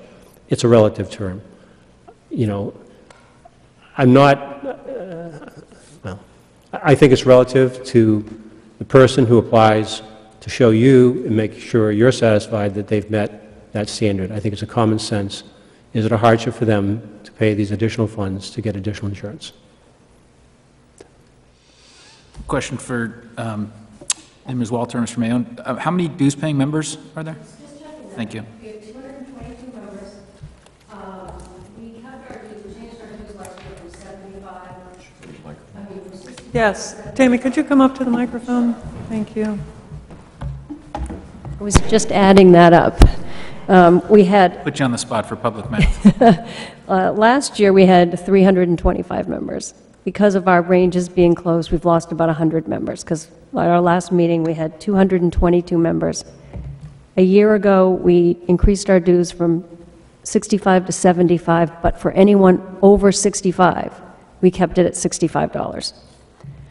So I'm going to go by 222 times 75 and whatever that comes out to, 16,000? 16. That's our annual dues. And we have a few fundraisers like raffles that bring in, you know, and a couple of people that donate here and there. So, you know, I'd say maybe another 5,000 a year, something like that.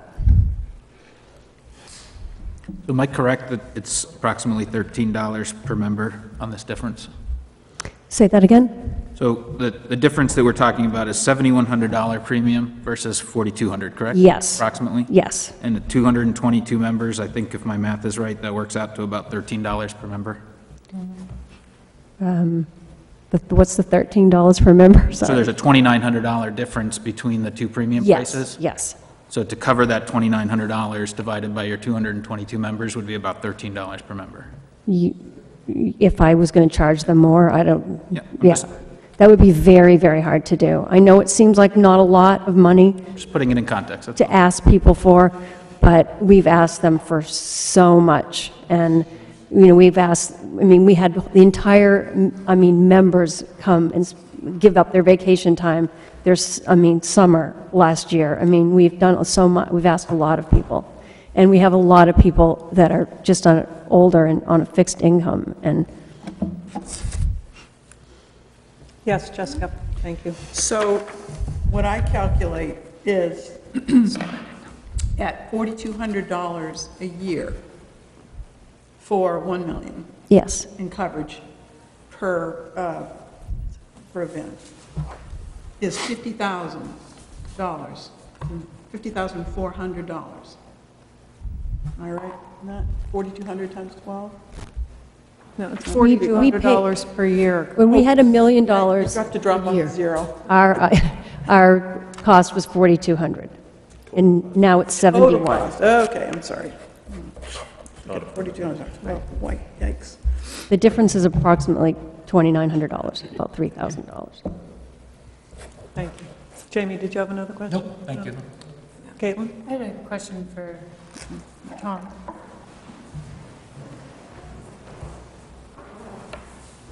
Um, If you issue the the hardship, is it for the life of the club, or do you, do we limit it to year to year, since the ordinance will still state 3 million? How would you, Hmm, Good question. I would think it'd be year to year. I think it'd be, so they have to reapply for the hardship every year? I believe so, yes. I think it would be part of their application. They would be asking for an exception to the specific insurance requirement. I have a question. Is the timing of asking for this hardship because of, are your dues for your insurance due soon? I mean, when, when is your calendar on that, Tammy? Excuse me, Patty? Is the, the, your policy, are you due to pay your policy soon? The fact that you're here now to deal with this, um, the, the change from, you know, 3 million to 1 million, are you looking to just clear it up? Or is it something that you have to, it's time sensitive is what I'm getting? No, I don't think it's time sensitive. I, I, I, I'm not really sure, but I think we pay it by quarterly. I'm- I don't really know. Okay. Yes. Um, Does that, will the NRA provide the insurance if, if, if we agree to do 1 million? No, I don't think I'll go to the NRA. I just, I like having the local, we use Noyes Allen, and, and I like like having him right there to go to. Okay, so the NRA is not really a factor in this. It's not like they're going to help you pay for the insurance or No, anything. the only reason why we brought up the NRA is because we went to them to get insurance when our insurance was canceled, when the people in the neighborhood got involved in that. So we called them to see if we could get insurance, because we didn't know if we could get new insurance, and we were just scrambling around. And that's when we found out that they don't even offer it as high as the town was asking us to go.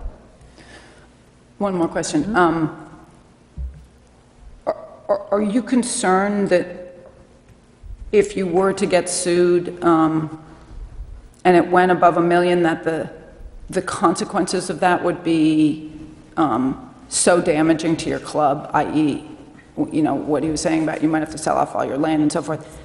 Does that make you worried enough that it, that, that you've thought about that, the difference between essentially four and seven, $3,000 a year to give you peace of mind? I mean, I guess that's sort of what insurance is for. If I were you guys, I think I might be concerned that w- one accident could shut you down. Do- Are you worried about that? No, not at all. Why? Because I know how safe we are. I see it every day. I mean, we have guns in our hands. We think about safety all the time. It's what we talk about at every meeting, it's what we think about all the time. It's, I'm not concerned at all. Other questions? Caitlin? I was just going to point out, I mean, it's liability insurance, so if somebody slips and falls because they're clumsy, they can't just sue the gun club. Like, the gun club has to have done something to allow them to be sued. That's what Tom was trying to say about the town. We'd have to do something to have caused us to be drawn into the lawsuit. So just to put in a, an an extra legal cue, they can't just be sued for existing. They have to be exu- sued for being negligent in some way, as would we. Any other council members have questions? No? I have a couple, Tom, if you could come back up. Um, I know you mentioned it a little earlier, anyone can sue anyone for any reason. And I thought that was a very helpful comment that Caitlin just made about the town's involvement in any liability lawsuit. And understanding that we'd put aside anything that was frivolous, because we can't insure against that anyway.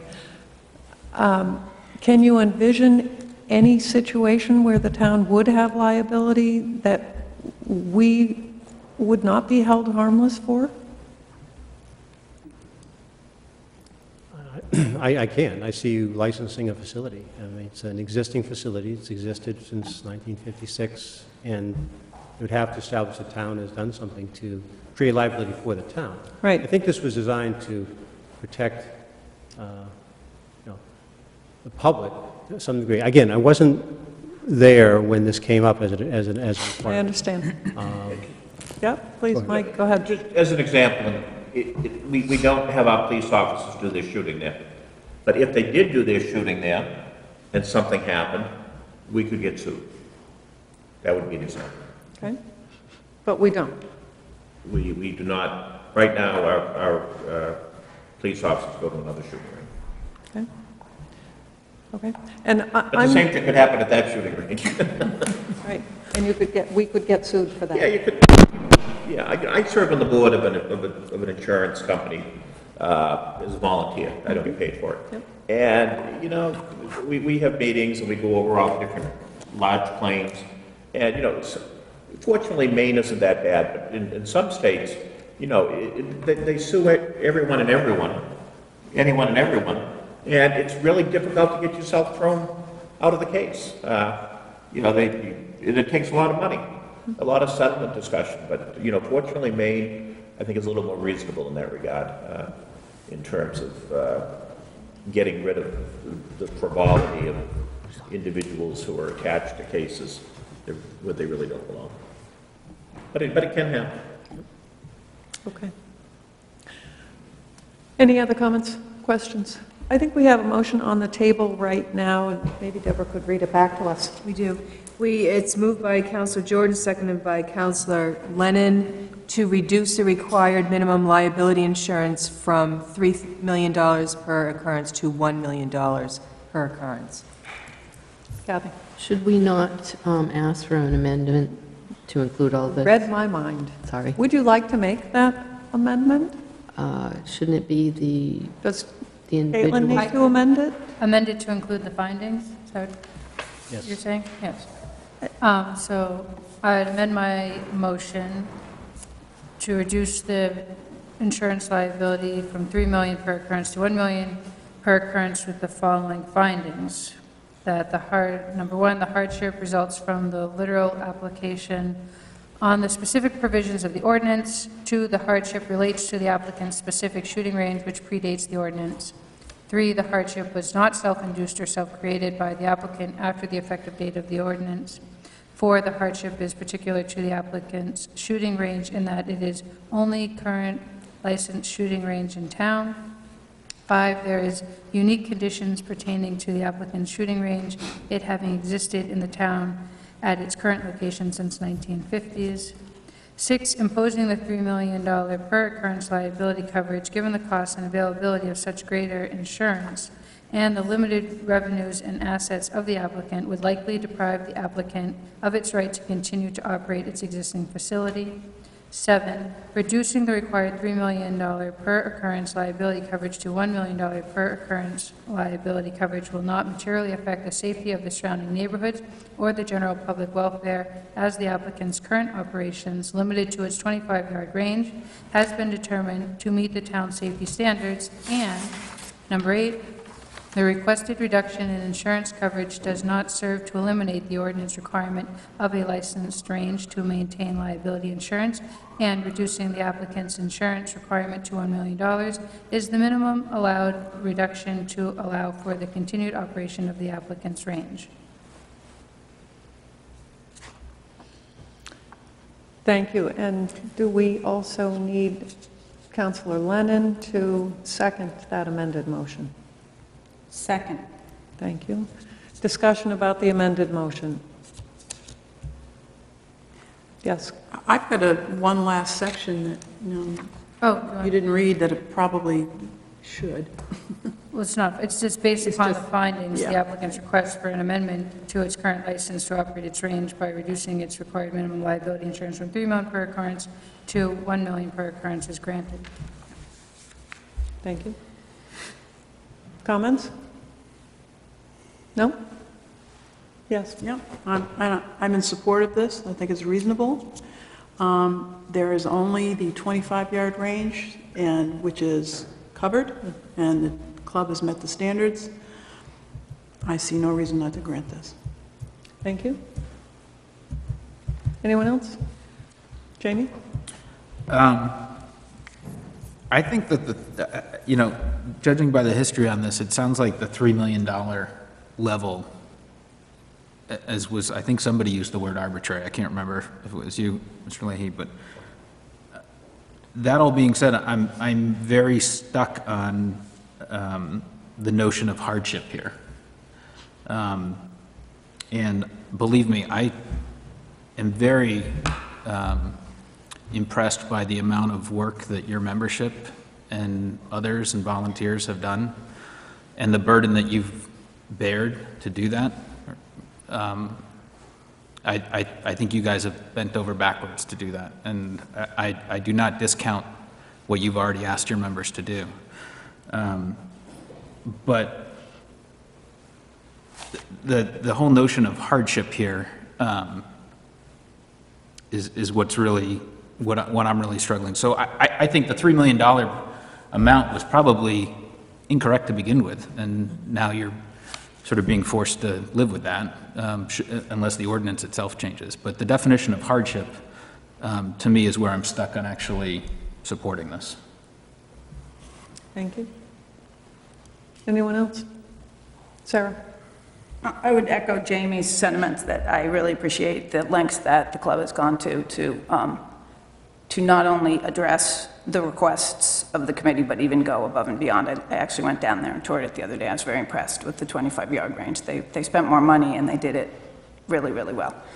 Um, So I guess my feeling is I would love to see this money put toward more of that work. Um, It seems like a more practical use of funds to spend every dollar they have toward making those other ranges as safe and as quiet, um, so that this, that- that this lawsuit and this insurance will never have to be used. Uh, An ounce of prevention is worth a pound of cure. So um, I understand what you're saying, Jamie, that it's, it's a little tough to squeeze it into this definition. I would love to know um, what the ordinance committee was thinking when they did the 3,000, but I'm guessing that what Jessica said was that it was then the open range that, that, that the inspector did find to be dangerous. And now that all of that has been addressed, it feels to me um, less, less um, critical. And so I would just encourage the gun range to continue the great work that they've started. Um, And I- any way that we can help them do that, I I want to. Thank you. Patty? I guess I would just now echo um, what you just said the last statement, and Jessica's, I think when the arbitrary number of um, the 3 million was set is when you didn't have the, the no blue sky and there wasn't all this work done, and I think it's, um, it's fair to assume that it is um, a much, much safer range, um, and it's fair to um, support these new findings and the reduction. Thank you. Jamie? Well, I, I don't want to speak before others have had a chance to speak first. I, I do have another point. I- I was just flagging her for you. Okay. I, I- I guess then what I question is why are we not considering changing the ordinance? Um, It, it, it appears the spirit of what we're trying to do here, and, and what most people are in agreement with, is that a million dollars is sufficient based on the new configuration of the range and current use. Um, I, I, I am not comfortable with the idea that this is a hardship exception. I am more than comfortable with the idea that a million dollars is sufficient insurance, and I agree with what's been said about, um, you know, good work being done, put more resources to doing more good work, but the, the way the ordinance reads is relief of hardship, which, which I, I don't think this is an example of that. So I, I just question why we're not looking at redoing the ordinance. Thank you. I think the manager would like to weigh in on that. Well, sort of, but sort of indirectly, you know, I I think, you know, you need to consider the hardship, you have an application for hardship, you consider it one way or the other.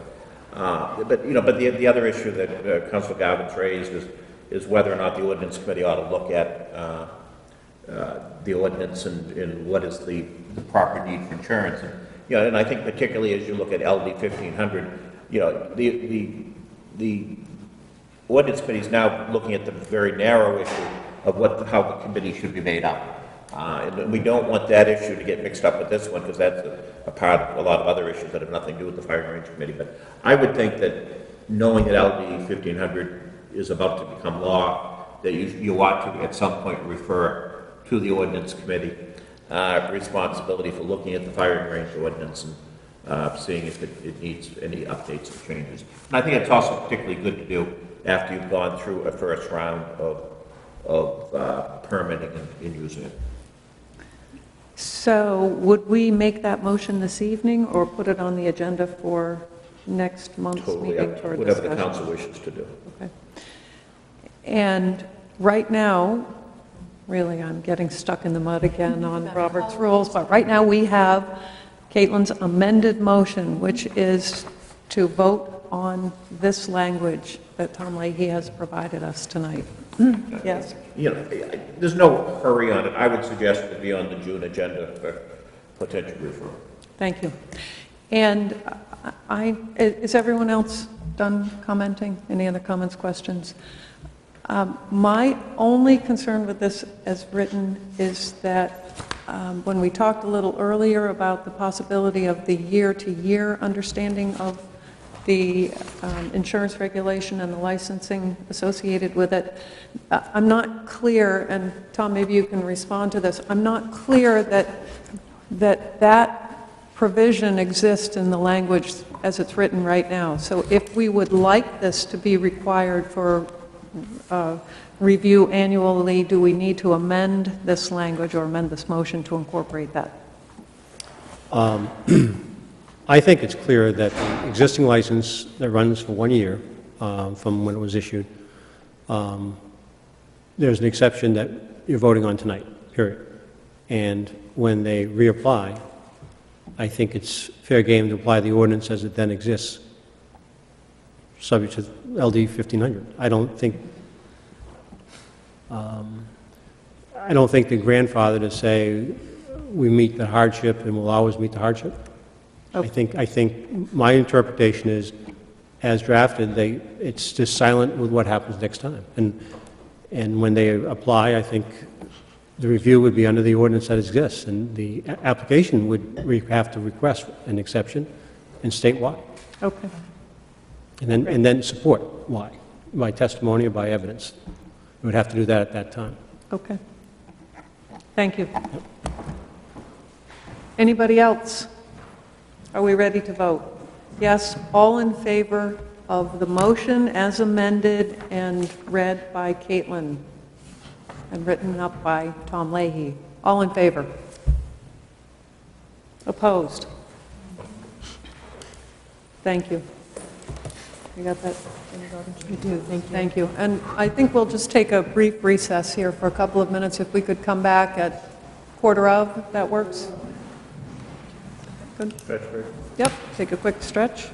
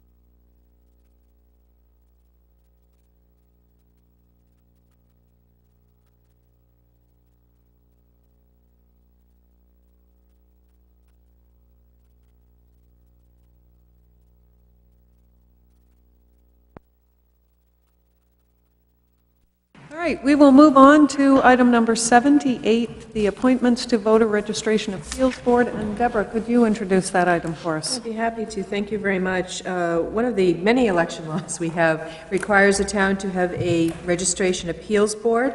Uh, If someone is aggrieved by the decision of the registrar, they may may appeal to the board. The law requires that each of the major municipal parties uh, make a recommendation for a member and an alternate, uh, which both the Democratic and the Republican town committees have done. Uh, The third member of the committee uh, is the chairman, that is recommended by the clerk. That has already been taken care of. We are fortunate to have Andy, Ann E. Swift Kayatta, who already serves as a chairman of the board uh, for a term to expire April 14th, 2018. This evening, you have before you the nominations of Nolan Reichel and Karen Hessel, uh, Janet Corey, and Tim Thompson. Uh, Again, uh, recommendations from the major political parties. Their terms would be effective immediately to expire May 9th, 2019. Thank you. Could I have a motion to accept? Yes, Kathy? I move that the Cape Elizabeth Town Council confirms nominations to the Registration Appeals Board as presented. The terms are effective immediately to expire May 9th, 2019. Thank you. Is there a second on that? Thank you, Patty. Discussion? Any comments, questions? No? All in favor? That is unanimous. We will move on to item number 79, Scott Dyer Road paving grant request. Michael, would you like to introduce that item? Yeah, the, um, Scott Dyer Road is one of the few roads that the state might help with paving. And they've offered us a grant of $247,000 to pave uh, Scott Dyer Road between Route 77 and what we would call Lower Brentwood Road that circles around, so it's the, the further one. Uh, This would probably be what's known as a mill and fill, where you scoop up the existing paving and you put down the new paving. Uh, Along with this, we, we would also be looking at trying to improve the sidewalks, uh, make those uh, nicer, all at local expense. Uh, The state wouldn't pay for that. And, uh, you know, and we're hoping also to get it moved up to 2018 rather than 2019. The road's in pretty tough shape. The good news is they're offering a grant of 240, about $247,000. That's great. So asking, the, uh, PACTS requires local councils to endorse the projects before any more, before they really get started with planning. Okay. So we will be looking for a motion to accept that grant? To en- provide it? endorse the, the, the grant request for 247,000. Thank you. Can I have a motion? Thank you, Jessica. So move. Thank you. Is there a second? Second. Thank you. And any discussion or questions? No? I have one quick question, and I'm looking at the email that came along with this in our packet, and it says, uh, and this must be from PACTS, I think it says, we need to get your council's endorsement for a short list of projects. That's great. And it's not a commitment to provide the local share, which is good. We're not committing to that to the future. Um, But rather a statement of council support for these potential projects. The first official council commitment to provide the local share comes later at the signing of the three-party Yeah. agreement. My question is, how long does it take us to get there? In other words, is, will we be voting on this again? Yes. Before 2018? Yes. Okay. You look at the plan, and you- sometimes with, with, you know, I'll ask you, I'll put something in saying, and the manager's authorized to sign anything that needs to be signed. I think it's way too mature to do that, because you, you really haven't seen the scope of the project, It hasn't been defined yet. Okay. And, and we do want to do some sidewalk work and other things eh, around the same time this is done. Great. Okay. All in favor? Any opposed? Nope, that's unanimous. Thank you. We will move on to item number 80, the acceptance of the sculpture. Michael, would you like to Yep. introduce this item? The, um, there's a provision in state law that uh, communities, local councils need to accept gifts. And uh, usually we do that in December in, in one, one vote, but occasionally other gifts come up. And sculptures tend to have been very politically sensitive in a lot of communities. And so, and, and furthermore, uh, this would require an amendment to the site plan for the library. And in order for me to apply to the planning board, I can only do that with the council authorization. So what, what I'm requesting is that you authorize the town manager to accept the gift of the sculpture and to submit an application to the planning board for an amendment to the approved site plan for Thomas Memorial Library. And if you look at that sculpture, you know, where it's underlined in, in the text, that would actually take you to what, the- what the library foundation is pro- proposing. Uh, there's two pictures, it's the same sculpture, it's just different angles. Uh, but it's, you know, good size, it would be a big concrete base, it would go, as you're looking at the library entrance, it would be between that and the pathway that leads down to the school playground. Thank you. Could I have a motion? Thank you, Jessica. I move we accept, uh, I'm, s- I'm sorry, I move that we authorize the town manager to accept the gift of the sculpture, of the sculpture, and to submit an application to the planning board for an amendment to the approved site plan for the Thomas Memorial Library. Thank you. Is there a second? Caitlin? Sure. Then I have a question. Thank you. Go ahead. Um, When I think gift, I think somebody gave it to us, but I'm just trying to make sure I understand the reading. The library building committee purchased this with funds from the Thomas Memorial Library Foundation, is that? Thomas Memorial Library Foundation will buy it. We are accepting the gift of the sculpture. Okay. The, if I could just clarify that, Caitlin, before the library building committee completed its work, we had a series of discussions about a piece of art to go on the exterior of the building or on the lot adjacent to the building. We, several of us on the building committee went to visit a number of artists and saw a number of pieces of art, several of which we liked and approved. We had a long discussion about what should go there and where it should go and how it should be installed. We started um, about a year ago doing that. By the end of November, we were ready to recommend a particular piece of artwork, which the architects had worked with us on and had recommended as well.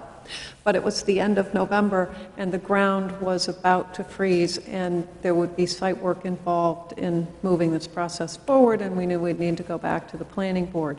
So the library building committee decided to defer that until the spring, and the foundation still has funds available for the library project. So we're kind of closing the loop here. We're back where we started almost a year ago. We're finally ready with the proposal. We'd like to see it move forward. And, Yeah, I just wanted to make sure it was clear that, you know, somebody's not just giving us this sculpture, that research went into it and it was selected. That's, Thank you. Any other comments or questions? No? All in favor?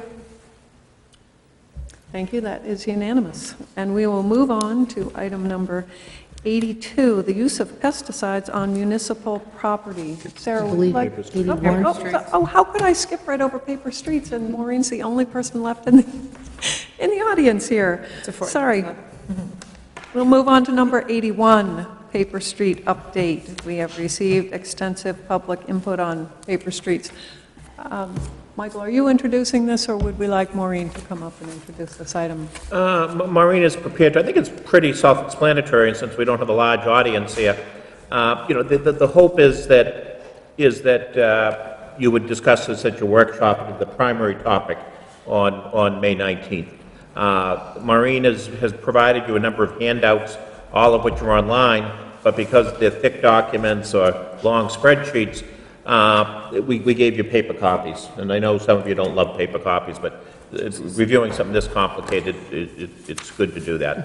Uh, You know, speaking for the, uh, you know, I understand the council chairman would like the councilors to do a little homework, and you might, you might address that. My note says town council homework on it, yes.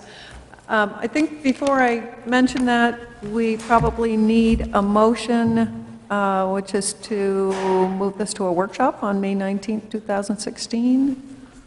So moved. Thank you. Caitlin, do we have a second? I'll second. Thank you, Jessica.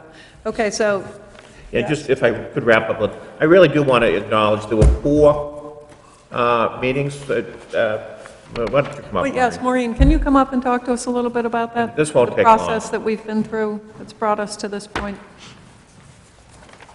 So the two-minute summary? Sure. All right, so 1997, council extended your paper streets for 20 years.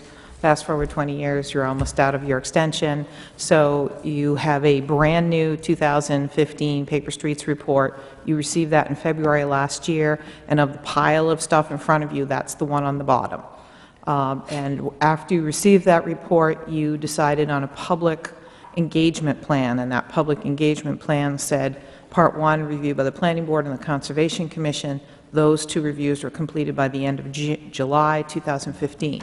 Part 2 was holding neighborhood meetings, and four neighborhood meetings were held.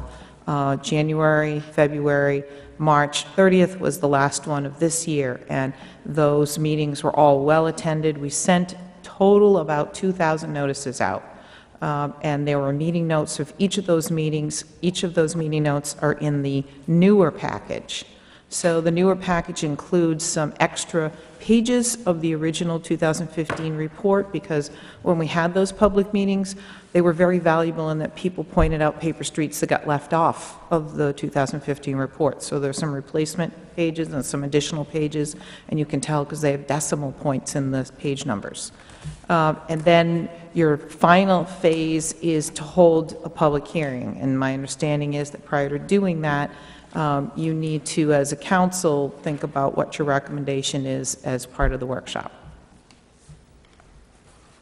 Anything else? No. Anyone have any questions for Maureen about the process that we've been through to date? No? Okay. And Maureen, this pa- packet that says Town Council homework, I have one for each council member to hand out, and um, you'll see it as I hand it along to you. I'll just hand some of those out. What I'd like to suggest is that if we do indeed move this along to the workshop on May 19th, that prior to that workshop, it would be really helpful, since this is a fair, it's been a fairly extensive process, and there are a number of these streets on the list, it would be really helpful if people, prior to that meeting, could take a walk through this spreadsheet, take a look at the recommendations from the Conservation Commission and the Planning Board, and they've given us, um, I believe, correct me if I'm wrong, Maureen, I think they are in agreement on all of these streets, on either retaining or vacating. Except for Thompson Road. Okay.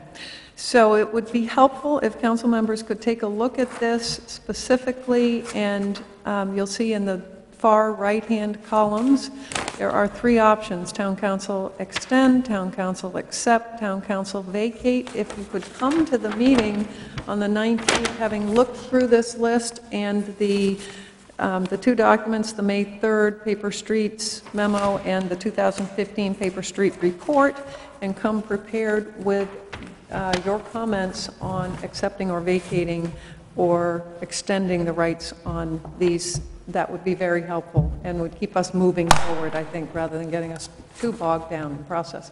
Hold on one second, Jessica, I think Caitlin had her hand up first. Just, I see three um, different properties that there, Stony Brook, Thompson, and Allen Road, that have different retain and vacate. Okay.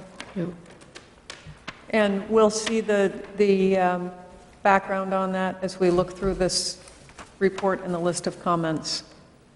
Yes. Okay. Thank you. Jessica, did you have a question? Yeah, this appears to be the same one that's in our packet. It is. Want to confirm. I promise, it's the Just got exact same extra one. copy. Okay. Can I ask Maureen a question? Yep, go ahead.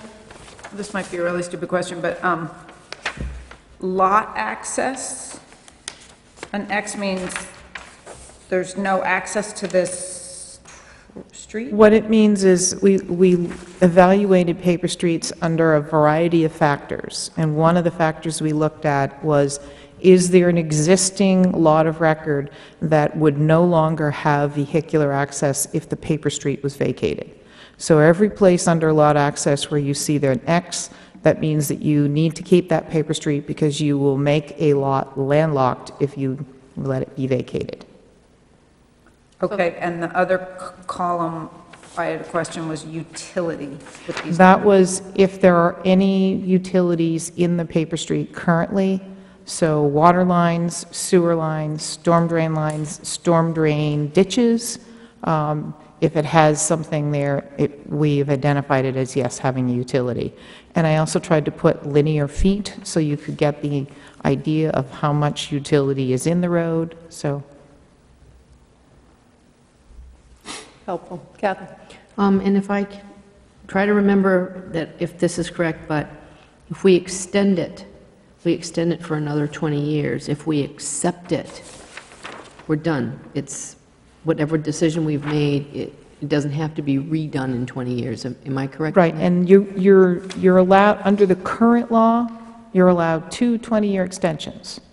So if you extend anything now in 2037, um, you have to, you're not allowed to extend anymore. You would have to let it go or accept it. And the original discussion, the assumption was you would either let things go, which is vacate, or you would extend.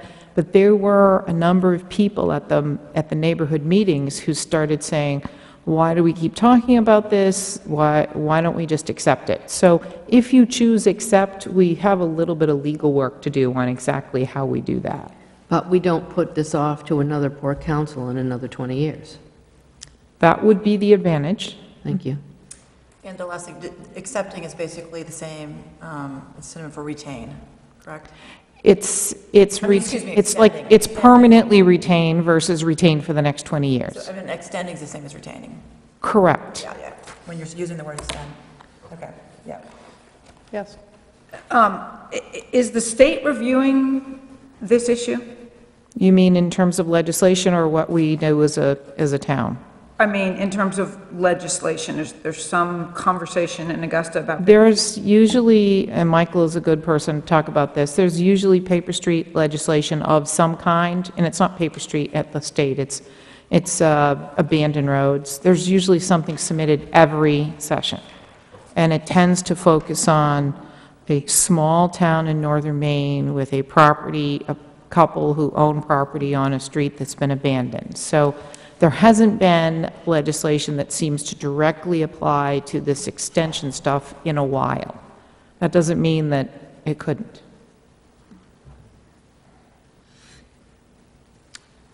Other questions on this? No? Okay. So uh, we have a motion to move this to workshop on May 19th. Are we ready to vote? Yes? All in favor? Any opposed? No? Unanimous? All right. We will move on to use of pesticides on municipal properties. Yes. Do you want me to introduce? Yes, them? I do, please. Um, So, I'll be very brief because of the time, but essentially, uh, if you guys remember, our, our current goal um, says, consider banning the use of all, consider banning the use of all pesticides on town-owned property. Um, I met with Bob Malley, we had a great meeting, he was incredibly informative and helpful, and essentially, he described to me um, that that goal is close to impossible, um, because, Caitlin's smiling, because um, there are occasions when, uh, when organic products cannot address the issue, Pe- both pesticides and herbicides, for example, grubs, or there's some infestation in the middle of the field, and the only way to get rid of them before they ruin the entire field is to use um, a non-organic substance. So I, I completely heard what he was saying, and he also said that um, he believes, he's very much in favor of moving toward organics. He said it's the way everyone's going, organic products are getting better and better, and, and prices are dropping, and he is all in favor of moving, but he counseled um, me that we should do it patiently and a bit slowly. First of all, it costs more, as he told us at the budget meeting, about 30% more. More manpower, you have to do more to the field, um, and, and the products are still more costly, but, but they're making great progress. Um, He, he's been working on Gull Crest, the upper field, for several years. He thinks that it's still doing fine. It's not quite as bright green as the others, and so that's a little bit of public education, that you can't, it's like when you buy an organic apple, it doesn't look perfect, but um, it's healthy and it's workable, and so they're now going to add to the list the lower Gull Crest field and the Fort Williams field. They've also stopped using um, synthetic herbicides in the park, on those, all those bushes, all those beds of flowers, which is great, and they've stopped in the baseball field. They're now using organics on that, which, again, takes more time, but he feels good about it. So, um, to make a long story short, essentially, what he suggested, and which I wholeheartedly agree with, is that we, um, that we moderately alter our goal to read something like, increase the use, to- increase the use of organic products throughout town, or gradually replace um, synthetic with organic, or something that implies a bit more of a process, because I think that to get all the way there will take several years. Um, So my motion is that we accept this great report he's written up. It's very thorough and uh, very informative for anyone in the public who's interested in this issue, that we accept it and we, um, we, we, um, yeah, that we essentially proceed, maybe we can tweak our our wording on our goal a little bit, but essentially, we've met the goal, and I think that it makes sense to review this every year for future town councils, maybe as part of the budget process, that he reports on how much it's costing and what progress he's making. So, that was kind of a long motion. Sorry. And that's okay, so. I move that we accept this report from uh, Robert Malley and, um, Proceed as outlined. thank you, in the report, proceed as subject to outlined the in the annual report. review. Subject to annual review during the budget. Um, To review sections of the budget for field maintenance. Thank you. Is there a second? I'll second that. Thank you, Patty. Any discussion? I'd just like to thank Bob for all the work he's doing on this. It's, it's, it's, it adds to his already full workload, but I think it's important, um, and he, he, he's really embraced it. That's great. Okay. All in favor? Any opposed? That is unanimous. We will move on to item number 83. Michael, are you coming back up here? Okay. Either one, whichever is better for you. This is the library project budget update. Uh, Thank you, Chair MacAuslan. Yeah, I think it's important whenever you do a large project that you give a final accounting of how everything came out and what, what, what, and this is what that is. You know, the library projects, it- it's a little complicated with all the financing because we had monies that were, that were approved by the citizens, uh, 4.2 million, plus there were earlier monies that were also approved for uh, work on the Spurwink School in order to make it a temporary library, as well as a lot of old funds uh, that uh, uh, had been set aside for some of the, the the earlier referendum that didn't, of that, those plans that weren't approved. But- the long and short of it is, is that uh, the construction cost uh, ended up being just under $4 million, 3.998. Uh, The amount that the citizens had authorized was 4.2 million. But if you look at everything, you look at the, the- what we call the soft costs, the architect's fees and the, the temporary storage trailers. You look at the work that was done un- underground to make the Spurwink, the Spurwink School uh, have better utilities, new sewer lines. Uh, you look at all the furnishings that were donated uh, by the, by the citizens to the uh, Thomas Memorial Library Foundation. Overall, it, it's about a $5 million project, 5.1 million. Uh, but, but still, there's about $83,000 left uh, in the account that remains in the, the Spurwink Church, uh, Spurwink Church, Spurwink School uh, renovation account that's available, you know, conceivably for the use of the, the following whatever recommendations that committee comes up with. Uh, But overall, the, the, the finance of the project uh, are are on target, online, and, you know, a lot was accomplished uh, for considerably less than the first referendum uh, was that was defeated. So I'd be happy to answer any questions. I know it's a little complicated following all the numbers, but these are, if anyone is watching and wants to look at the numbers, uh, if they, you- they go to the council packet for this item, uh, there is a link to the the spreadsheet the council has in front of it with all the, with all the different numbers. But I think the other thing to look at is when you look at a project, you know, people look at what the construction cost is, there's an awful lot of other costs to a project. Uh, architect's fees, in this case, just the moving fees alone of moving the books and everything from one library to the next was about $35,000. Uh, So, you know, costs add up, but the news is good overall. Good. Very important, generous donation on furnishings. And, you know, if you look at, the, the, the the direct construction was about 3.6 million, but even about 80,000 of that was paid for by the furnishings account, where there was certain, there were upgrades of the, the- the entryway was fancier than, and they paid for some of the upgrades of, of, of the granite that you see there. They paid for the the stage outside that came out of that 3.6 million, uh, but, but then, then was reimbursed. Right, some of the millwork on the desks. Some of the fancier millwork, yeah. The, the wave down in the, on the ceiling of the children's, for instance, that was an add-on that was paid for by the foundation. Anyone have any questions on that? Jessica? I guess I had thought that the architect fees were in, were all in the, uh, the, the bonded amount. Yeah, and they're in, they're in the soft costs, they're in the bond. Yeah, okay. So Yeah, but I think- except for a little bit of it was the charge to furnishings, a very little bit. All the costs for the, for example, the furnishings consultant uh, that worked with the architect were charged to uh, the furnishings side of the ledger, and that was paid for by the Towson Library Foundation. Correct. And the, if I may, and the, uh, uh, I know there were n- startup costs with the architects, but I'm, I'm uh, assuming that those were in the 250. That's Or right. 240 that were paid back. That's right. We did Yeah. with, the- with the planning committee.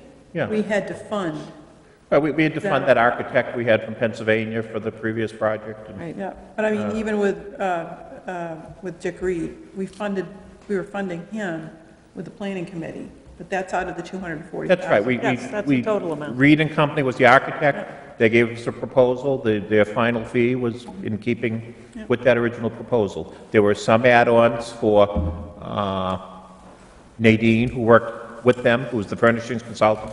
Those were paid for, uh, by the furnishings budget. And then there was also, in, in in addition to the soft costs, like the copies of plans, the printing costs, postage costs. Every time you get a bill, there's all those little add-ons that, you know, original contract provided add-ons. You know, they- It it adds up after you get a project that goes on for a couple of years. Caitlin, did you have a question? No? I had a question. The almost $83,000 remaining, um, well, I'm guessing it'll be likely to be used for something for the school, depend- the Spurwink School, depending on what that committee comes back with. Um, What's the process for reappropriating that if it's not used? Right now, $25,000 of it was specifically allocated to the Spurwink School Committee, that there was a line. So that that's already out of the Committee that's out of, that would come out of that money. Okay, Come so out of the 83 less 25. So, yeah, so there'd be Okay. that slightly additional sum. 8268. And you could also notice, I also kept $25,000 in uh, for the library, uh, you know, in case that there's, there's other minor issues. There's, there's a few issues with some plantings that, uh, a roof garden that might cost a little money, and I'm not sure where that's coming from. That conceivably could come out of that. And uh, there's, uh, could be other minor issues, but not that relate to construction, but just you get into a project, you get into it six months, and, you know, I wish they had done that, or whatever.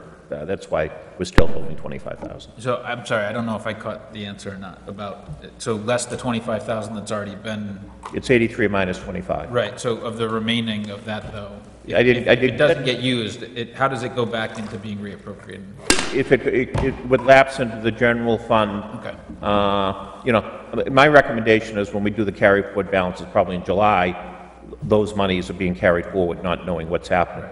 Uh, You know, the, what the charter says is money stay in, a- in in an account for the purpose for which it was intended has been accomplished. That's what I'm getting to, thank you. Uh, The council has to define what that means in any given case. Any other questions? No?